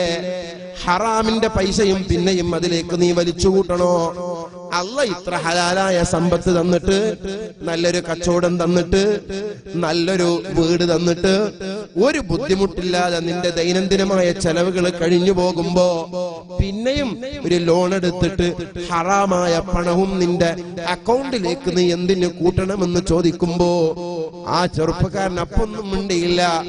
കുറച്ച് മാസം കഴിഞ്ഞപ്പോ ചോദിച്ചു എവിടെ എത്തിയ ഫ്ലാറ്റ്? അദ്ദേഹം പറഞ്ഞു നിങ്ങളെ പറഞ്ഞപ്പോ തന്നെ ഞാൻ ഇന്ന് പിന്മാറിയിട്ടുണ്ട്. ഇങ്ങനെ അള്ളാഹു നല്ല ഹലാലായ സമ്പത്ത് തന്നപ്പോ വീണ്ടും അതിലേക്ക് ഹറാമിങ്ങനെ വലിച്ചു വലിച്ചു കൂട്ടുന്നത്. നമ്മൾ ആലോചിക്കണം. നബി സല്ലല്ലാഹു അലൈഹി വസല്ലമ തങ്ങൾ പറയുന്നു നിന്റെ സമ്പത്ത് മിൻ ഐനം മിൻ ഐനക്തസബ തസബ വഫീമാ നീ എവിടെന്നാണ് സമ്പത്ത് നീ ഉണ്ടാക്കിയത്. നിന്റെ സ്രോതസ്സിനെ കുറിച്ച് സമ്പത്തുണ്ടാക്കിയ വഴികളെ കുറിച്ച് അല്ല നിന്നോട് ചോദ്യം ചെയ്യും കേട്ടോ. അല്ല അനുവദിച്ച സമ്പത്താണോ? അല്ല അനുവദിക്കാത്ത സമ്പത്താണോ? റബ്ബ് നിന്നോട് ചോദ്യം ചെയ്യും കേട്ടോ. അല്ല അനുവദിക്കാത്ത സമ്പത്ത് ഹറാമിന്റെ പണം നിന്റെ പള്ളയിലായി കൂടാ നിന്റെ മക്കളെ പള്ളയിലായി കൂടാ നിന്റെ ഭാര്യയുടെ പള്ളയിലായി കൂടാ അതല്ല പൊരുത്തപ്പെടൂല. നിന്റെ ദ്വാക്കല്ല ഇജാബത്ത് ചെയ്യൂല. ഹബീബായ മുത്തു റസൂലുള്ളാഹി സ്വല്ലല്ലാഹു അലൈഹി വസല്ലം നിങ്ങൾ പറയുന്നു. എത്ര എത്ര ആളുകളാണ് അവരിങ്ങനെ കൈകൾ റബ്ബിലേക്ക് ഉയർത്തിയിട്ട് വലിയ ആപിതീങ്ങളാണ് വലിയ നിസ്കാരക്കാരനാണ് വലിയ ദിക്ര ചൊല്ലുന്നവരാണ്. അവരിങ്ങനെ കൈകൾ ഉയർത്തിയിട്ട് ദ്വാരക്കുന്നു അല്ലാ അല്ലാ എന്ന് ദ്വാരക്കുന്നു. പക്ഷേ ഹറാം ഹറാം ഹറാം ഹറാം. അവൻ കഴിക്കുന്ന ഭക്ഷണം ഹറാമിന്റെതാണ്. അവൻ സഞ്ചരിക്കുന്ന വാഹനം ഹറാമിന്റെതാണ്. അവൻ ധരിക്കുന്ന വസ്ത്രം ഹറാമിന്റെതാണ് അവൻ താമസിക്കുന്ന വീട് ഹറാമിന്റെതാണ് എവിടെന്നാണ് അവന്റെ ദ്വാക്കിജാപത്തുണ്ടാവുക മുഴുവൻ ഹറാമിൽ നിന്നല്ലേ? ഹറാമിൽ നിന്നുള്ളവനിക്ക് എവിടെന്നാണ് അവന്റെ ദ്വാക്കിജാപത്തെന്ന് നബി സല്ലല്ലാഹു അലൈഹി വസല്ലമ തങ്ങൾ ചോദിക്കുന്നു. അതല്ലേ എന്ന് സംഭവിച്ചിട്ടുള്ളത്? ലോകം മുഴുവനും ഹറാം കൊണ്ട് പൊതിയപ്പെട്ടുപോയി ഹറാമില്ലാത്തത് വളരെ കുറഞ്ഞുപോയി. ഹറാമില്ലാത്ത ഭക്ഷണം കുറഞ്ഞുപോയി. ഹറാമില്ലാത്ത വസ്ത്രം കുറഞ്ഞുപോയി. അതുകൊണ്ട് ദുആക്കും ഇജഹാബത്ത് എടുക്കപ്പെട്ടു പോയി. നബി സല്ലല്ലാഹു അലൈഹി വസല്ലമ തങ്ങൾ പറയുകയാണ് അതുകൊണ്ട് ഓ മുഅ്മിനീങ്ങളെ നമ്മുടെ സമ്പത്തിനെ കുറിച്ച് കൃത്യമായ കണക്ക് റബ്ബിനോട് പറയണം. അള്ളാഹുവിന്റെ ഹബീബ് സല്ലല്ലാഹു അലൈഹി വസല്ലമ തങ്ങൾ പറയുന്നു മൂന്നാമത്തെ ചോദ്യം വ അൻ മാലിഹി മിൻ ഐന ഇക്തസബ ഫീമാ അൻഫഖാ. നീ സമ്പാദിച്ച സമ്പാദ്യം എവിടെ നിന്നുള്ളതാണ്? നീ ചെലവഴിക്കുന്നത് എവിടത്തേക്കാണ്? പള്ളിക്ക് ചോദിച്ച ഒരു കൊടുക്കൂല. മദ്രസക്ക് ചോദിച്ച ഒരു കൊടുക്കൂല. പിന്നെയോ ഹറാമിന് മുഴുവനും സമ്പത്ത് ചെലവഴിക്കുന്നു. വലിയ ടൂർണമെന്റ് ഉണ്ടെങ്കിൽ അതിന് എത്രയും കൊടുക്കും. അല്ലെങ്കിൽ വേറെ എന്തെല്ലാം തോന്നിവാസം ഒരു ഗാനമേള ഉണ്ടെങ്കിൽ അതിന് കൊടുക്കും. ഇങ്ങനെ അല്ല പൊരുത്തപ്പെടാത്തതിനൊക്കെ കൊടുക്കും. അള്ളാഹു പൊരുത്തപ്പെട്ട ഒന്നിനും കൊടുക്കൂല. ഇങ്ങനെ ചെലവഴിക്കുന്ന കാര്യങ്ങളും ചെലവഴിക്കുന്ന മാർഗങ്ങളും അള്ളാഹു താല ചോദ്യം ചെയ്യും വിചാരണ ചെയ്യുമെന്ന് അലൈഹി വസല്ലം തങ്ങൾ നമ്മോട് പഠിപ്പിക്കുകയാണ്. അതുകൊണ്ട് സഹോദരന്മാരെ ആ വിചാരണയുടെ ദിവസം നമ്മൾ ഇതിനൊക്കെ കൃത്യമായ മറുപടി പറയണമെങ്കിൽ നമ്മുടെ ജീവിതം നമ്മൾ നന്നാക്കിയിരിക്കണം. നബി സല്ലല്ലാഹു അലൈഹി വസല്ലം തങ്ങൾ പറഞ്ഞ അഞ്ച് കാര്യം അതിൽപ്പെട്ട ഒന്നാണ് വഗ്നാക ഖബ്ല ഫഖരിക. അള്ളാഹു നിനക്ക് തന്ന ഐശ്വര്യം. ആ ഐശ്വര്യത്തെ നീ മുതലാക്കണം. അള്ളാഹു നല്ല സമ്പത്ത് തന്നു നല്ല ഞാമത്ത് തന്നു എല്ലാം തന്നിട്ടുണ്ട് ഇപ്പോൾ. തന്ന കാലത്ത് അതിനെങ്ങനെ മുതലാക്കണം? നല്ല ദീനീ കാര്യങ്ങൾക്ക് കൊടുക്കണം. പള്ളിക്കും മദ്രസക്കും ദീനി സംരംഭങ്ങൾക്കും പാവപ്പെട്ടവർക്കും യത്തീമുകൾക്കും അഗതികൾക്കും അനാഥകൾക്കും ഇങ്ങനെ വിഷമം അനുഭവിക്കുന്നവർക്ക് നിങ്ങൾ കൊടുക്കണം. അള്ളാഹുവിന്റെ ഹബീബിന് വലിയ ഇഷ്ടമാണ്. മഹാനായ സിദ്ദീഖുൽ അക്ബർ റളിയല്ലാഹു അൻഹു ഒരു ദിവസം നബി സല്ലല്ലാഹു അലൈഹി വസല്ലം തങ്ങൾ ചോദിച്ചു സദസ്സിൽ മൻ അസ്ബഅ മിൻകുമുൽ യൗമ സ്വായിമാ നിങ്ങളെ കൂട്ടത്തിൽ ആരെങ്കിലും ഈ ദിവസം നോമ്പെടുത്തവരുണ്ടോ? ആ സമയത്ത് മഹാനായ സുദ്ദീഖുൽ അക്ബർ റളിയല്ലാഹു അൻഹു എഴുന്നേറ്റ് നിന്ന് പറയുന്ന അനയാ റസൂലല്ലാഹ് ഞാനുണ്ട് നബിയേ. രണ്ടാമത് ചോദിക്കുന്നു നിങ്ങളെ കൂട്ടത്തിൽ ആരെങ്കിലും ഇന്ന് ഒരു മിസ്കീനായ മനുഷ്യനിക്ക് പാവപ്പെട്ട മനുഷ്യനിക്ക് ഭക്ഷണം കൊടുത്തവരുണ്ടോ? ആ സമയത്തും ബഹുമാനപ്പെട്ട സുദീഖ് അക്ബർ റളിയല്ലാഹു അൻഹു എഴുന്നേറ്റ് നിന്ന് പറയുന്നു അനയാ റസൂലല്ലാ ഞാനുണ്ട് നബിയേ. മൂന്നാമതും ചോദിക്കുന്ന നിങ്ങളെ കൂട്ടത്തിൽ ആരെങ്കിലും ഒരു മയ്യത്തിന്റെ പിന്നാലെ മയ്യത്ത് പരിപാലനത്തിൽ സംബന്ധിച്ചവരുണ്ടോ? ആ സമയത്തും ബഹുമാനപ്പെട്ട സുദ്ദീഖുൽ അക്ബർ റളിയല്ലാഹു അൻഹു എഴുന്നേറ്റ് നിന്ന് പറയുന്നു അന യാ റസൂലല്ലാ ഞാനുണ്ട് നബിയേ. നാലാമതും ചോദിക്കുന്നു നിങ്ങളുടെ കൂട്ടത്തിൽ ആരെങ്കിലും ഒരു രോഗിയെ സന്ദർശിച്ചവരുണ്ടോ? ഒരു രോഗിയെ ശുശ്രൂഷിച്ചവരുണ്ടോ? ആ സമയത്തും ബഹുമാനപ്പെട്ട സുദീഖുൽ അക്ബർ റളിയല്ലാഹു അൻഹു എഴുന്നേറ്റ് പറയുന്നു അനയാ ഞാനുണ്ട് നബിയേ. നാല് കാര്യങ്ങൾ ചോദിച്ച സമയത്തും അക്ബർ പറഞ്ഞത് ഞാനുണ്ട് നബിയേ. സുന്നത്ത് നോമുണ്ടോ എന്ന് ചോദിച്ച പദങ്ങൾ പറഞ്ഞു ഞാനുണ്ട് നബിയേ. ഫക്കീറായ മിസ്കീനായ മനുഷ്യനിക്ക് ഭക്ഷണം കൊടുത്തവരുണ്ടോ എന്ന് ചോദിക്കുമ്പോ ഞാനുണ്ട് നബിയേ. ഒരു രോഗിയെ സന്ദർശിച്ചവരുണ്ടോ എന്ന് ചോദിക്കുമ്പോ ഞാനുണ്ട് നബിയേ. മയ്യത്ത് പരിപാലനത്തിൽ സംബന്ധിച്ചവരുണ്ടോ എന്ന് ചോദിക്കുമ്പോ ഞാനുണ്ട് നബിയെ. ആ സമയത്ത് നബി സല്ലല്ലാഹു അലൈഹി വസല്ലമ തങ്ങൾ പറയുന്നു ഈ നാല് കാര്യം ആരെങ്കിലും ഒരാൾ ഒരു ദിവസം ചെയ്തിട്ടുണ്ടോ? അവൻ സ്വർഗത്തിലാ. അത് സ്വർഗത്തിൽ പോകുന്ന പാവപ്പെട്ടവർക്ക് ഭക്ഷണം കൊടുക്കുക. രോഗിയെ സന്ദർശിക്കുക. രോഗിയെ ശുശ്രൂഷിക്കുക. അതുപോലെ തന്നെ മയ്യത്ത് പരിപാലനത്തിൽ സംബന്ധിക്കുക സുന്നത്ത് നോമ്പ് അനുഷ്ഠിക്കുക വലിയ അള്ളാഹു എനിക്ക് ഇഷ്ടമുള്ള കാര്യമാണ്. രോഗിയെ സന്ദർശിക്കൽ. നമ്മുടെ നാട്ടിൽ എത്ര രോഗികളുണ്ട്? ആ രോഗിയെ നമ്മൾ ആരെങ്കിലും കാണാറുണ്ടോ? ശുശ്രൂഷിക്കാറുണ്ടോ? അവരെ ചെന്ന് കാണാറുണ്ടോ? അതിലാണ് വലിയ പുണ്യമുള്ളത്. നാളെ പടച്ചവന്റെ കോടതിയിലെത്തുമ്പോ അള്ളാഹുത്താരെ ചോദിക്കും അല്ല അടിമ ഞാൻ രോഗിയായപ്പോ എന്തെ നീ എന്നെ കാണാൻ വരാത്തത്? അടിമ ചോദിക്കും യാ റബ്ബ് യാ അല്ലാ റബ്ബേ നീ റബ്ബുൽ ആലമീനായ അല്ലാഹുവല്ലേ നീ എങ്ങനെ രോഗിയാകും? നിനക്ക് രോഗം വരികയോ? അള്ളാഹു ചോദിക്കുന്നു ഞാൻ രോഗിയായപ്പോ നീ എന്തേ എന്നെ കാണാൻ വരാത്തത്? അപ്പൊ ഈ അടിമ ചോദിക്കും ആലമീൻ നീ റബ്ബുൽ ആലമീനായ അള്ളാഹുവല്ലേ? നിനക്ക് രോഗമുണ്ടാവുകയേ? അപ്പോൾ അള്ളാഹു താല പറയും ഇതാ നിന്റെ നാട്ടിൽ ഇന്നാലിന്ന നിന്റെ നാട്ടിൽ നിന്റെ അയൽവാസി അല്ലെങ്കിൽ നിന്റെ കൂട്ടുകാരൻ രോഗിയായി കിടന്നപ്പോ നീ എന്തേ പോയി കണ്ടിട്ടില്ല? നിന്റെ അയൽവാസി നിന്റെ നാട്ടിൽ വെച്ച് ഇന്ന രോഗി രോഗിയായി കിടക്കുമ്പോ ആ വ്യക്തി രോഗശൈലിയിൽ കിടക്കുമ്പോൾ നീ എന്തുകൊണ്ട് കാണാൻ ചെന്നില്ല? നീ എങ്കാലും അവിടെ സന്ദർശിച്ചിരുന്നുവെങ്കിൽ ലവജത്തനീ. ആ രോഗിയായ മനുഷ്യന്റെ സമീപത്ത് നീ എന്നെ എത്തിക്കുമായിരുന്നു കേട്ടോ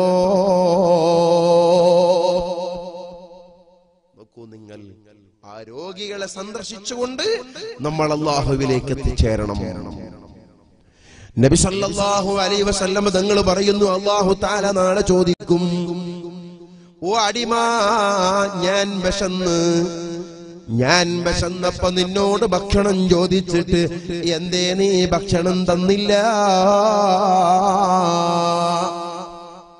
അടിമ ചോദിക്കുന്നു അന്ത റബ്ബുല്ലാലമീൻ നീ റബ്ബുല്ലാലമീനായ അള്ളാഹുമല്ലേ നിനക്ക് വിശക്കുകയോ? സമയത്ത് അള്ളാഹു താല പറയുന്നു ഇന്നാലിന്ന പാവപ്പെട്ട മനുഷ്യൻ നിന്നോട് ഭക്ഷണം ചോദിച്ചിട്ട് ഇന്നാലിന്ന ഒരു പാവപ്പെട്ട മനുഷ്യൻ ചിലപ്പോ അങ്ങാടിയിലൂടെ നടക്കുമ്പോഴായിരിക്കും ചിലപ്പോ ബജാറിലൂടെ പോകുമ്പോഴായിരിക്കും കഴിക്കാൻ വല്ലതും തരണേ എന്ന് ചോദിച്ചവനായിരിക്കും. നിന്റെ വീട് മുറ്റത്തേക്ക് വന്നിട്ട് കഴിക്കാൻ വല്ലതും തരുമോ? വിശക്കുന്നു എന്ന് ചോദിച്ചവനായിരിക്കും. അല്ലെങ്കിൽ നീ വിശപ്പുള്ളവനെ തിരിച്ചറിഞ്ഞിട്ടും എന്തേ നീ അവനിക്ക് ഭക്ഷണം കൊടുത്തില്ല. പാവപ്പെട്ടവനെ കടം കൊണ്ട് ബുദ്ധിമുട്ട് തിന്നാൻ പോലും ഗതിയില്ലാത്ത മനുഷ്യൻ ആ മനുഷ്യനെ തിരിച്ചറിഞ്ഞിട്ടും എന്തേ നീ അവനക്ക് ഭക്ഷണം കൊടുത്തില്ല? ആ മനുഷ്യനിക്ക് നീ ഭക്ഷണം കൊടുത്തിരുന്നുവെങ്കിൽ ലവജത്തനീന്തഹോ ആ മനുഷ്യന്റെ സമീപത്ത് നീ എന്നെ എത്തിക്കുമായിരുന്നു കേട്ടോ. സഹോദരന്മാരെ നമ്മൾ മനസ്സിലാക്കണം. നബി സല്ലല്ലാഹു അലൈഹി വസല്ലം നിങ്ങൾ പറയുകയാണ് ഈ നിലയ്ക്ക് അള്ളാഹു സുബ്ഹാനഹു തആല രോഗികളെ സന്ദർശിക്കുന്നവനെ കുറിച്ചും പാവപ്പെട്ടവനിക്ക് ഭക്ഷണം കൊടുക്കുന്നവനെ കുറിച്ചും അള്ളാഹു തആല വലിയ മഹത്വം പറഞ്ഞിട്ടുണ്ട്. ഒരു മജൂസിയായ മനുഷ്യൻ മജൂസി എന്ന് പറഞ്ഞാൽ തീയനെ ആരാധിക്കുന്നവനാണ്. ആ തീയനെ ആരാധിക്കുന്ന മനുഷ്യൻ ബഹുമാനപ്പെട്ട മൂസാ നബി അലി ഇസ്ലാമിന്റെ സമീപത്തേക്ക് വന്നിട്ട് ഭക്ഷണം ചോദിച്ചു. മൂസാ നബി അലി ഇസ്ലാം പറഞ്ഞു നീ മജൂസിയാണ്. നീ അള്ളാഹുവിനെ ആരാധിക്കാത്തവനാണ്. നീ തീയിനെ ആരാധിക്കുന്നവനാണ്. അതുകൊണ്ട് നിനക്ക് ഭക്ഷണമില്ല പോയിക്കോ. ആ മനുഷ്യൻ മടങ്ങിപ്പോയി വിഷമത്തോടെ. അള്ളാഹു വിളിക്കുന്നു മൂസാ നബിയേ നിങ്ങൾ എന്തുകൊണ്ടാണ് ഭക്ഷണം ചോദിച്ചു വന്ന മജൂസിയെ നിങ്ങൾ തിരിച്ചയച്ചത്? മൂസാ നബി അലി ഇസ്ലാം പറയുന്നു അല്ലാ ഇത്രയും കൊല്ലം നീ അവനിക്ക് ഭക്ഷണം കൊടുത്തിട്ട് നിന്നെ ആരാധിക്കാതെ ഈ തീയനെ ആരാധിക്കുന്ന ധിക്കാരിയായ മനുഷ്യനാണ് അവൻ അതുകൊണ്ടാണ് ഞാൻ അവനിക്ക് ഭക്ഷണം കൊടുക്കാത്തത്. അല്ല ചോദിക്കുന്നു മൂസാ നബിയെ ആ മനുഷ്യനിക്ക് വയസ്സെത്രയുണ്ട്? ഒരു നാൽപ്പത് നാൽപ്പത്തഞ്ച് അൻപതോളം വയസ്സാകും. അല്ല ചോദിക്കുന്നു ആ അൻപത് വയസ്സുകാലം ആ മനുഷ്യന് ഭക്ഷണം കൊടുത്തവനാരാ? നീയാണ് എന്നെ ആരാധിക്കാത്ത തീ കൊണ്ട് തീനാരാധിക്കുന്ന മനുഷ്യനിക്ക് അൻപത് കൊല്ലം ഞാൻ ഭക്ഷണം കൊടുത്തില്ല. നിങ്ങളോട് ഒരു നേരത്തെ ഭക്ഷണം ചോദിച്ചിട്ട് നിങ്ങൾക്ക് കൊടുക്കാൻ പറ്റിയില്ലല്ലേ? ഇതെന്തൊരു ന്യായമാണ്. മൂസാ നബി മജൂസിയെ വിളിച്ചു ഭക്ഷണം കൊടുത്തു ചോദിക്കുന്നു നിങ്ങൾ നേരത്തെ തിരിച്ചയച്ചല്ലോ. ഇപ്പൊ വീണ്ടും വിളിക്കാനുള്ള കാരണം എന്താണ്? നബി അലൈഹി പറഞ്ഞു എന്റെ റബ്ബിനോട് ചോദിച്ചു ഇത്രയും കൊല്ലം ഞാൻ അവനിക്ക് ഭക്ഷണം കൊടുത്തിട്ട് ഒരു നേരത്തെ ഭക്ഷണം ചോദിച്ചപ്പോ നിങ്ങൾക്ക് കൊടുക്കാൻ കഴിഞ്ഞില്ലല്ലോ? എന്നെ എന്റെ റബ്ബ് ചോദ്യം ചെയ്തു പോയി. മജൂസിയായ മനുഷ്യൻ പറയുന്നു അങ്ങനത്തെ റബ്ബാണോ? ഞാൻ ആ റബ്ബിൽ വിശ്വസിച്ചു എന്ന് പറഞ്ഞുകൊണ്ട് ആ മജൂസിയായ മനുഷ്യൻ ഇസ്ലാമിലേക്ക് കടന്നു വന്നു. ഞാൻ പറഞ്ഞു വന്നത്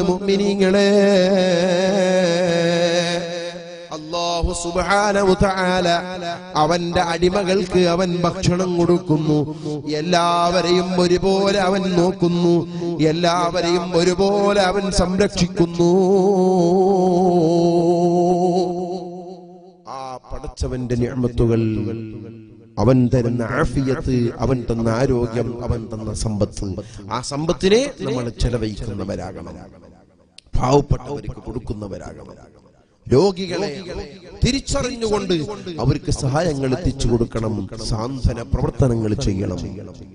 അത് അള്ളാഹുവിന്റെ അടുക്കൽ വലിയ പ്രതിഫലം ലഭിക്കുന്ന ഒരു കാര്യമാണ്.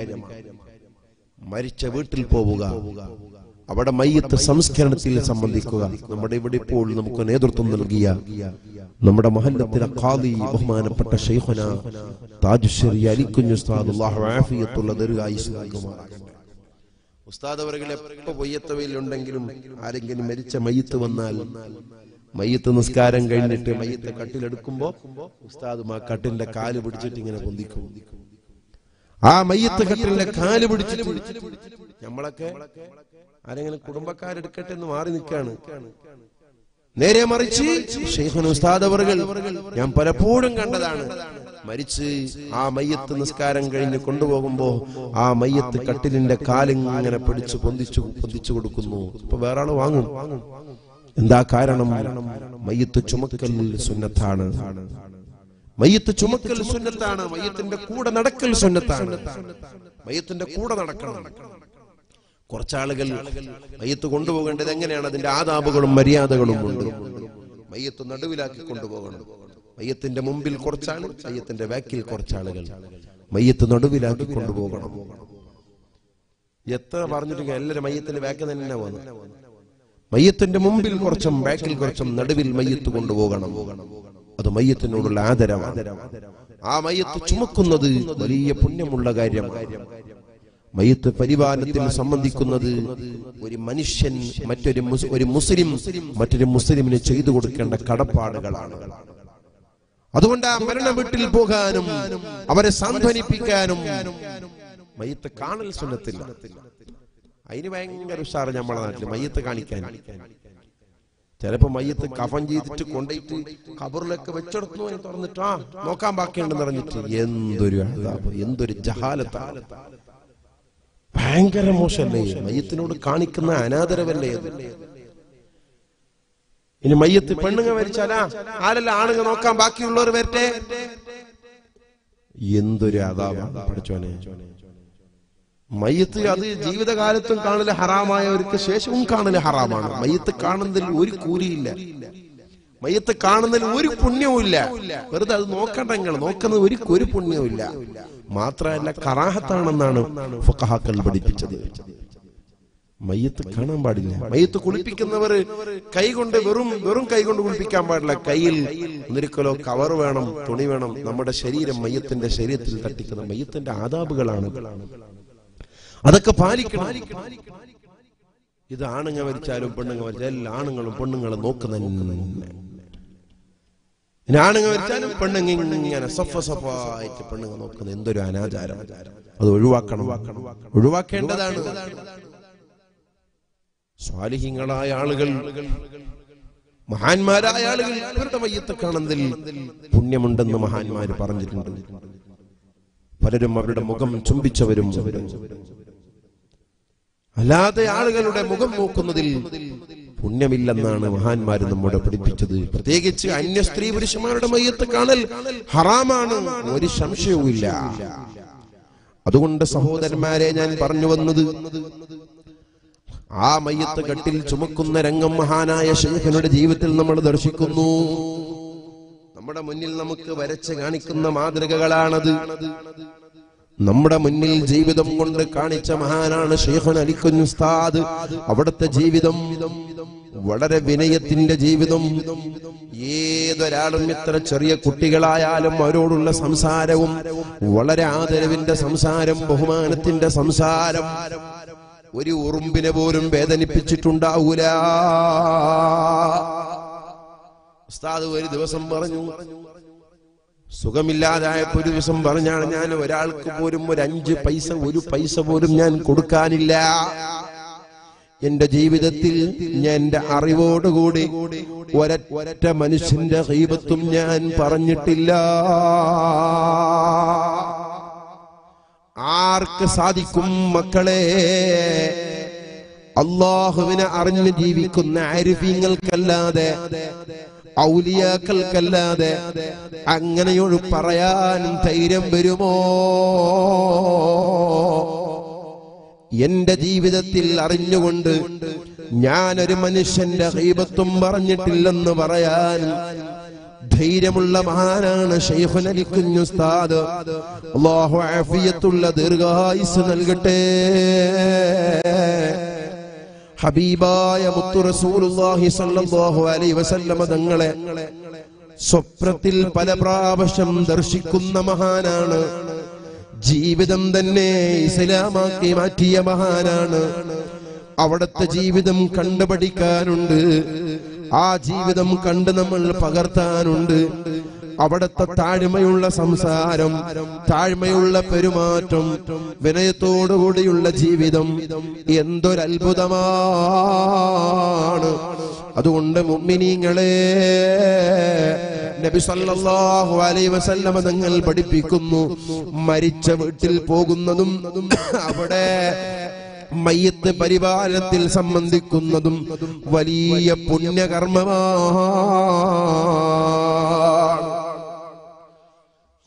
ഒരു ദിവസം മദീനയിൽ സിയാറത്തിന് വേണ്ടി ചെന്ന സമയത്ത് അള്ളാഹു നമുക്കടെല്ലാവർക്കും പല പ്രാവശ്യം പോകാൻ ഭാഗ്യം നൽകുമാറാകട്ടെ. നിസ്കാരം കഴിഞ്ഞ ഉടനെ അവിടെ എപ്പോഴും മയ്യത്തിസ്കാരം നടക്കും. ആ മയ്യത്തിസ്കാരം കഴിഞ്ഞ ഉടനെ പുറത്തേക്ക് വന്നപ്പോ ഇങ്ങനെ കൈമാറി കൈമാറി കൈമാറി കൊണ്ടുപോകുന്നു. ആളുകൾ ഇങ്ങനെ പൊതിഞ്ഞ് പൊതിഞ്ഞ് കൊണ്ടുപോവുകയാണ്.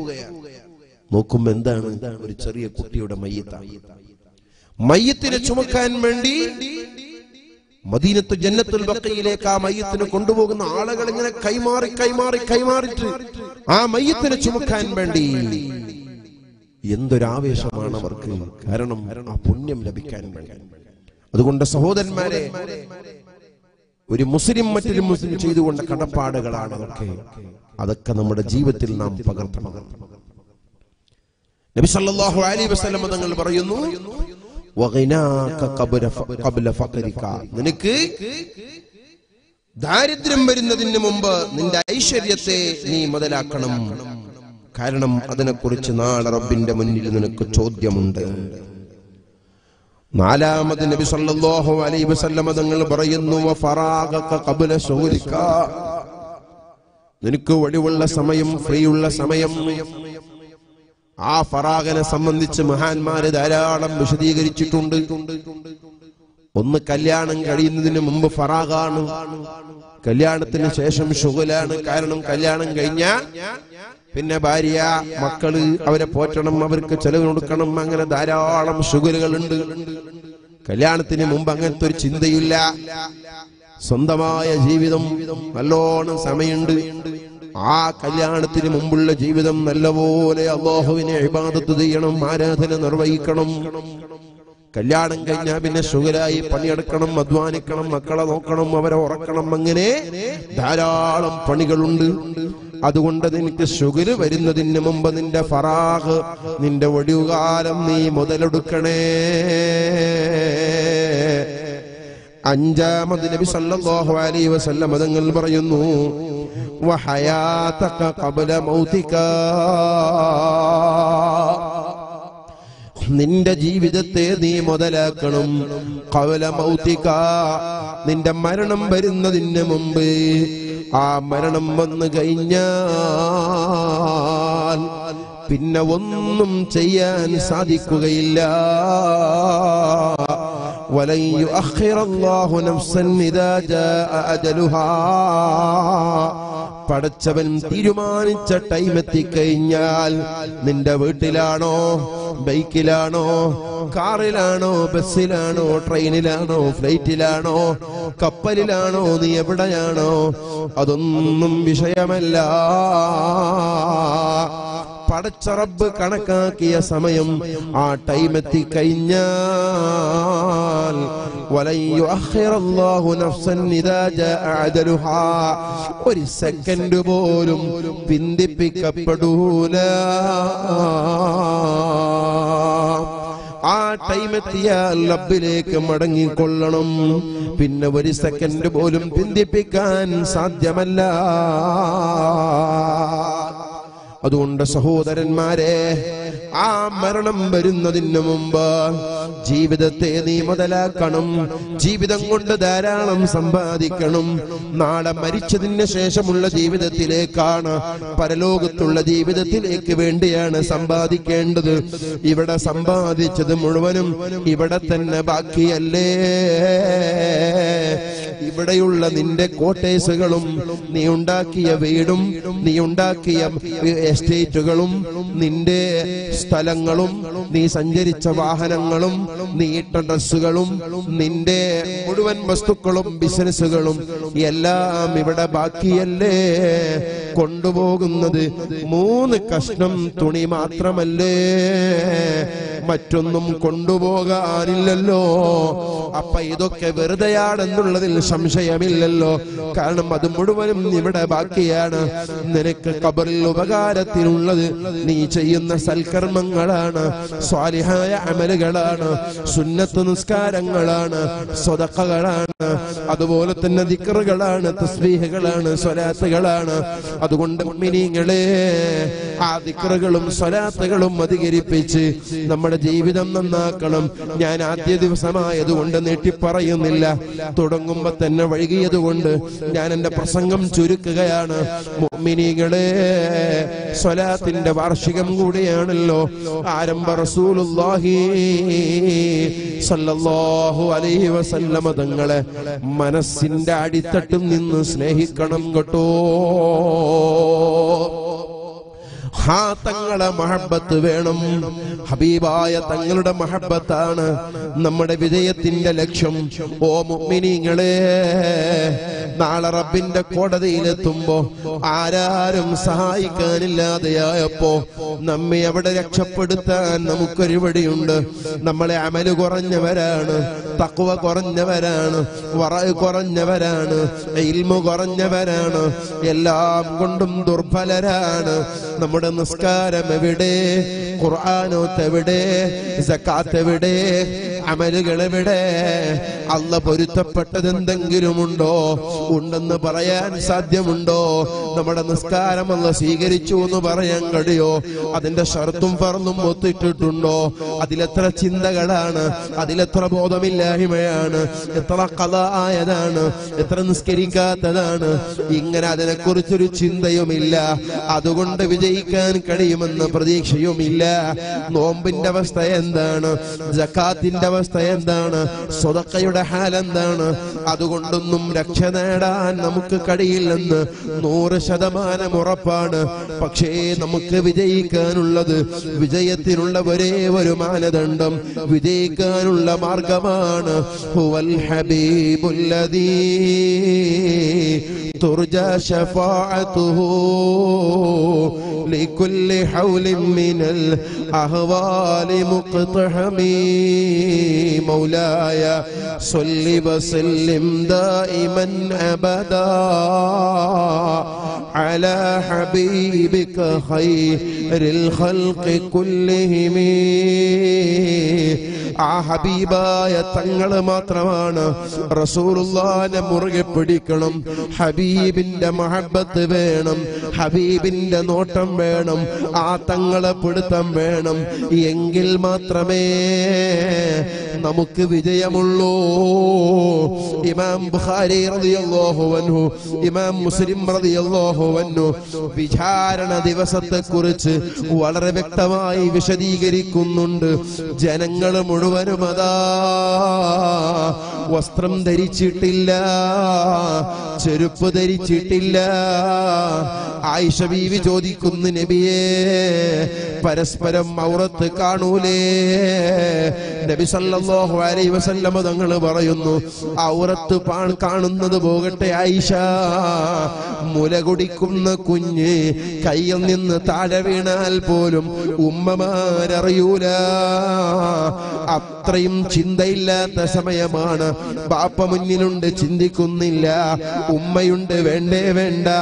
ഭാര്യയുണ്ട് തിരിഞ്ഞു തിരിഞ്ഞു നോക്കുന്നില്ല മക്കളുണ്ട് വേണ്ടേ വേണ്ട.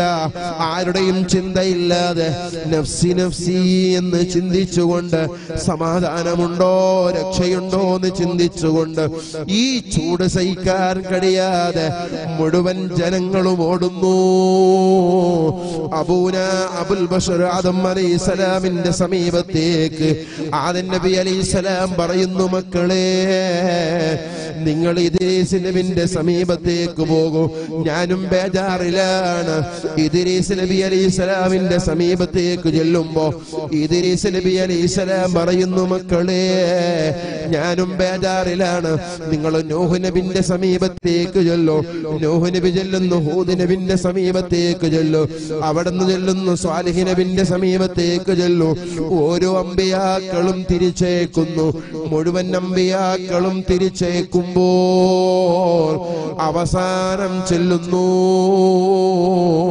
شفي المذنبين خاتم النبيين رحمة للعاشقين راحة للعاشقين ملجأ الفقراء والمساكين رحمة للعالمين.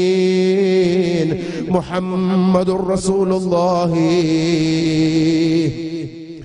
സല്ലല്ലാഹു അലൈഹി വസല്ലം തങ്ങളെ സമീപത്ത് ചെല്ലുന്ന സമയത്ത് അനലഹ അനലഹ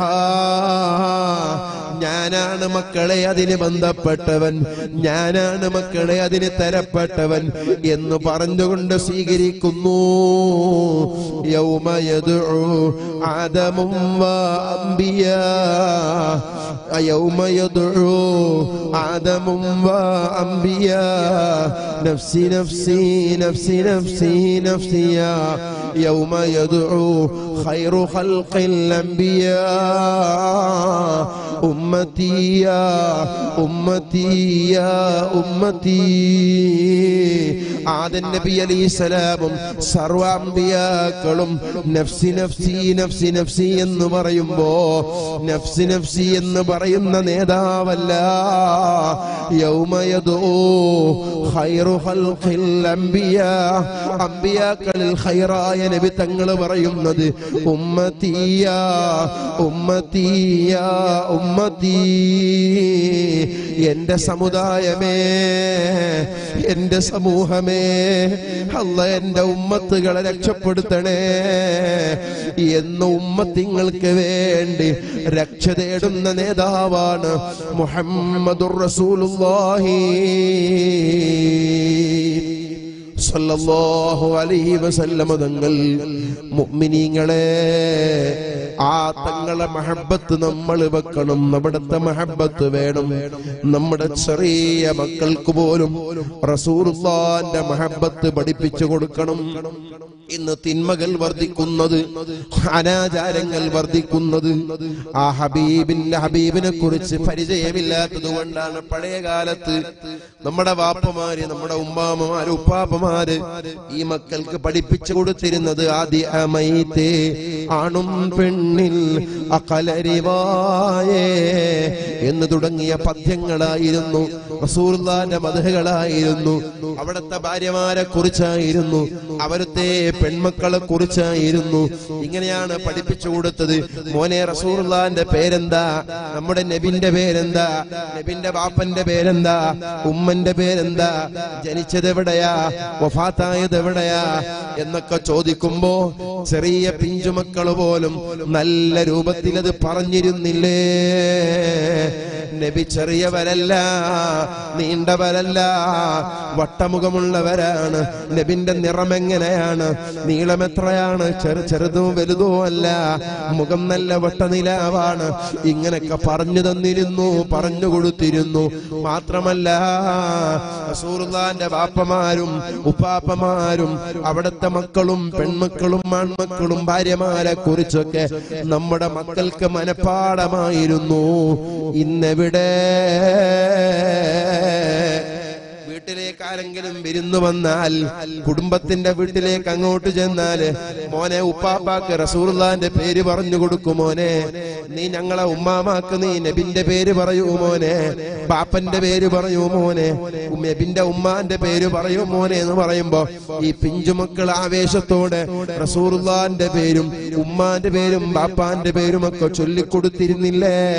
ആ സ്ഥാനത്ത് ഇന്ന് മക്കൾക്ക് റസൂർലാന്റെ പേരറിയുമോ? ഉമ്മാന്റെ പേരറിയുമോ? റസൂർലാന്റെ ബാപ്പാന്റെ പേരറിയുമോ? ഉപ്പാപ്പാന്റെ പേരറിയുമോ? ഭാര്യമാരെ പേരും പെൺമക്കളെ ആൺമക്കളെ പേരറിയുമോ? അതേ സ്ഥാനത്ത് ക്രിക്കറ്റ് താരങ്ങളെ പേര് ചോദിക്കുമ്പോ ഫുട്ബോൾ താരങ്ങളെ പേര് ചോദിക്കുമ്പോ സിനിമാ താരങ്ങളെ പേര് ചോദിക്കുമ്പോ സീരിയൽ താരങ്ങളെ പേര് ചോദിക്കുമ്പോ ഈ മക്കൾക്ക് പറയാനെന്ത് ഉഷാറാണ്. എന്ത് സ്ഫുടമായിട്ടാ പറയുന്നത്? ഉമ്മമാര് പഠിപ്പിച്ചു കൊടുത്തത് കൊണ്ടല്ലേ? പാപ്പമാര് അവസരം ഉണ്ടാക്കിയത് കൊണ്ടല്ലേ? വീട്ടിൽ ടി വി വെച്ചത് കൊണ്ടല്ലേ അതിനുള്ള സംവിധാനം വെച്ചത് കൊണ്ടല്ലേ അത് ഈ സ്ഥാനത്ത് റസൂറുല്ലാനെ പറ്റി പഠിപ്പിക്കുന്നില്ല. അതുകൊണ്ടാണ് മദീനയിൽ ജീവിച്ച വലിയ പണ്ഡിതൻ ഈയടുത്ത് മരണപ്പെട്ടു പോയ മുഹമ്മദ് അബ്ദു യമാനി എന്ന് പറയുന്ന പണ്ഡിതൻ ഒരു ചെറിയ ഗ്രന്ഥം തന്നെ രചിച്ചിട്ടുണ്ട്. ആ ഗ്രന്ഥത്തിന്റെ പേര് തന്നെ അല്ലിമു ഔലാദക്കും മഹബത്ത് റസൂലില്ല.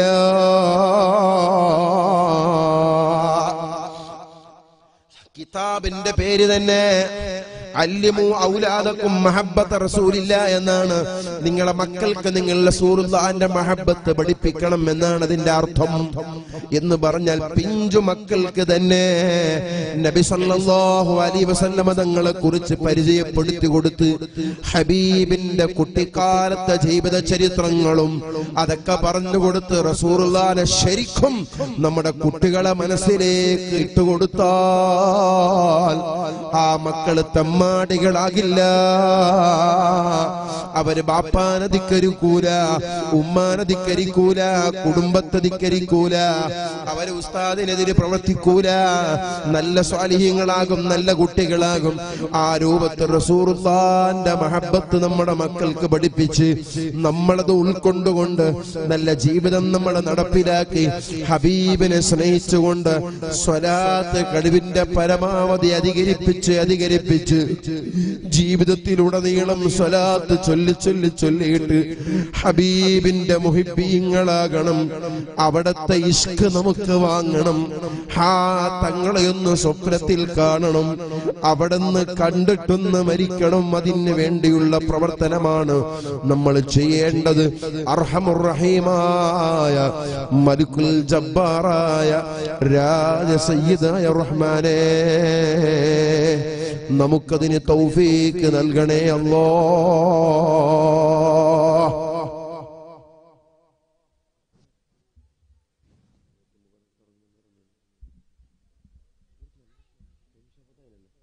സഹോദരന്മാരെ ഒരു പതിനൊന്ന് ദിക്രു ചൊല്ലി നമ്മൾ മരിച്ചവരുടെ പേര് ചൊല്ലിയിട്ട് നമുക്ക് ചെയ്യാം. അള്ളാഹു കബൂൽ ചെയ്യുമാറാകട്ടെ. جددوا إيمانكم ونبروا قلوبكم بقول لا إله إلا الله. لا إله إلا الله. لا إله إلا الله. لا إله إلا الله. لا إله إلا الله. لا إله إلا الله. لا إله إلا الله. لا إله إلا الله. لا إله إلا الله. لا إله إلا الله الحمد لله الحمد لله رب العالمين اللهم صل على سيدنا محمد وعلى آل سيدنا ومولانا محمد റഹമുറഹീമായ മലിക്കുൽ ജബ്ബാറായ രാജ സയ്യിദായ റഹ്മാനെ നമ്മുടെ ഈ സദസ്സ് നീ സ്വീകരിക്കണേ അല്ലാ നീ കബൂലാക്കണേ റഹ്മാനെ. പടച്ചവനെ നമ്മുടെ ജീവിതത്തിൽ വന്നുപോയ സർവ പാപങ്ങളും ഞങ്ങൾക്ക് പുറത്തു തരണേ അല്ലോ. ഞങ്ങളുടെ ജീവിതത്തിൽ വന്നുപോയ ചെറുതും വലുതുമായ സർവദോഷങ്ങളും നീ ഞങ്ങൾക്ക് പുറത്തു തരണേ റഹ്മാനെ. ഞങ്ങളെ പാപികളാണ് ഞങ്ങൾ ദോഷികളാണ്. ഇൽമു കുറഞ്ഞവരാണ് അമൽ കുറഞ്ഞവരാണ് തക്കുവ കുറഞ്ഞവരാണ് കുറഞ്ഞവരാണ്. എല്ലാം കൊണ്ടും ദുർബലരാണ് അല്ലോ. ഞങ്ങളെ ഹൃദയം ശുദ്ധിയാക്കി തരണേ അല്ലോ. ഈമാനും തക്കവയും ഞങ്ങൾക്ക് ഏറ്റിത്തരണേ റഹ്മാനെ. പടച്ചറബേ ഞങ്ങൾക്കും ഞങ്ങളെ ഉമ്മ ബാപ്പമാര് ഞങ്ങളെ ഉസ്താദുമാര് ഞങ്ങളെ ഭാര്യ സന്താനങ്ങൾ ജ്യേഷ്ഠ അനുജന്മാർ ഈ സദസ്സിൽ ഒരുമിച്ച് കൂടിയ ഓരോരുത്തർക്കും ദ്വാ കൊണ്ട് വസീത്ത് ചെയ്തവർക്കും നീ പൊറത്തു കൊടുക്കണേ റഹ്മാനെ. നമ്മുടെയും അവരുടെയും എല്ലാ രോഗങ്ങളും നീ ശിഫയാക്കണേ റഹ്മാനെ. ആഫിയത്ത് നൽകണേ അല്ലാ. ഹാർട്ടിന്റെ രോഗം കിഡ്നിയുടെ രോഗം മൂത്രക്കല്ലിന്റെ അസുഖം മുട്ടുവേദന നടുവേദന തലവേദന കൈകാൽ കടച്ചിൽ ഷുഗർ പ്രഷർ കൊളസ്ട്രോൾ സർവരോഗങ്ങളും നീ ശിഫയാക്കണേ റഹ്മാനെ. ക്യാൻസർ നീ മാറ്റിക്കൊടുക്കണേ റഹ്മാനെ. പടച്ചവനെ ഞങ്ങൾക്ക് നീ തന്നെ ആഫിയത്ത് നിറനിർത്തി തരണേ അല്ലാ മരിക്കുന്നത് വരെ ഞങ്ങൾക്ക് നീ ആഫിയത്ത് നിലനിർത്തണേ റഹ്മാനെ. ഞങ്ങളുടെ സ്വന്തം ആവശ്യങ്ങൾ മറ്റുള്ളവർ നിർവഹിക്കേണ്ട ഒരവസ്ഥയിലേക്ക് ഞങ്ങൾ ആരെയും ആക്കല്ല റഹ്മാനെ. പടച്ചവനെ കിടന്ന കിടപ്പിൽ തന്നെ മലമൂത്ത വിസർജന നടത്തുന്ന അവസ്ഥ ഞങ്ങൾക്ക് ആർക്കും നീ വിധിക്കല്ലോ റഹ്മാനെ. ഞങ്ങളെ സ്വന്തമായ ആവശ്യങ്ങൾ മറ്റുള്ളവർ ചെയ്യേണ്ട ഗതികേട് ഞങ്ങൾക്ക് നീ വരുത്തല്ലോ റഹ്മാനെ. മരണം വരെ ഞങ്ങൾക്ക് നീ തന്ന ആഫിയത്ത് നിറനിർത്തി തരണേ അല്ലോ. പടച്ചവനെ ദുആ കൊണ്ട് വസീത്ത് ചെയ്തവർക്കും നീ ആഫിയത്ത് നിലനിർത്തി കൊടുക്കണേ റഹ്മാനെ. ഇവിടത്തെ ഉസ്താദമാരെ വേദിയിലുള്ള ബഹുമാനപ്പെട്ട കോളിയൊരു ഉസ്താദ് അടക്കമുള്ള പ്രായമുള്ള ആളുകൾ സദസ്സിൽ ധാരാളം വയസ്സന്മാരുണ്ട്. നീ നല്ല ആഫിയത്തേറ്റ് കൊടുക്കണം റഹ്മാനെ. ഉമ്മമാരുണ്ട് നീ അവർക്ക് ആരോഗ്യം നിലനിർത്തി കൊടുക്കണേ റഹ്മാനെ. പടച്ചവനെ ഞങ്ങളെ ജോലിയിലും ഞങ്ങളെ കച്ചവടത്തിലും ഞങ്ങളെ കൃഷിയിലും ഞങ്ങളെ കുടുംബത്തിലും ഞങ്ങളെ പള്ളിയിലും ജമാഅത്തിലും ഞങ്ങളെ താല്ലുമിലും താരീമിലും ഞങ്ങളെ ദീനീ പ്രവർത്തനങ്ങളിലും ഞങ്ങളെ എല്ലാ ഹറക്കാത്ത സക്കനാത്തിലും ഞങ്ങൾക്ക് നീ ബറക്കത്തേറ്റി തരണേ റഹ്മാനെ. ഞങ്ങളെ വിഷമങ്ങൾ തീർക്കണേ റഹ്മാനെ. ഞങ്ങൾക്ക് നീ ബറക്കത്തേറ്റി തരണം റഹ്മാനെ. ഹലാലായ വരുമാനം നൽകണം റഹ്മാനെ. ഹറാമിനെ തൊട്ട് കാക്കണേ അല്ലോ വിദേശത്തുള്ള ഞങ്ങളെ ജ്യേഷ്ഠ അനുജന്മാർ ഞങ്ങളെ നാട്ടുകാര് ഞങ്ങളെ കുടുംബക്കാര് ഈ മഹല്ലത്തിൽപ്പെട്ടവർ അല്ലോ ആരെല്ലാം ഏതെല്ലാം പ്രയാസങ്ങൾ അനുഭവിക്കുന്നുണ്ടോ നീ രക്ഷപ്പെടുത്തണം റഹ്മാനേ. പുതിയ പുതിയ നിയമങ്ങൾ വന്ന് വലിയ പ്രയാസത്തിലാണ്. ഇന്നൊരു സുഹൃത്ത് സൗദിയിൽ നിന്ന് വിളിച്ചിട്ട് ഉസ്താദെ പണിയെല്ലാം പോയി എന്നെ പിരിച്ചുവിട്ടു വലിയ വിഷമം പറഞ്ഞു. ഇങ്ങനെ എത്രയോ ആളുകൾക്ക് വലിയ വിഷമങ്ങളാണ്. പഠിച്ചവനെ നീ സലാമത്താക്കണേ റഹ്മാനെ. നീ ഒരു പ്രയാസത്തിലും പെടുത്തല്ല അള്ളാഹ ജോലിയില്ലാത്തവനക്ക് ഹൈറായ ജോലി നൽകണേ റഹ്മാനെ. പഠിച്ചവനെ അള്ളാ റഹ്മാനായ അള്ളാ റഹീമായ അള്ളാ മക്ബൂലും മബറൂറായ ഹജ്ജും ഉംറയും ഒരുപാട് പ്രാവശ്യം ചെയ്യുവാൻ ഞങ്ങൾക്ക് തൗഫീക്ക് നൽകണേ റഹ്മാനെ.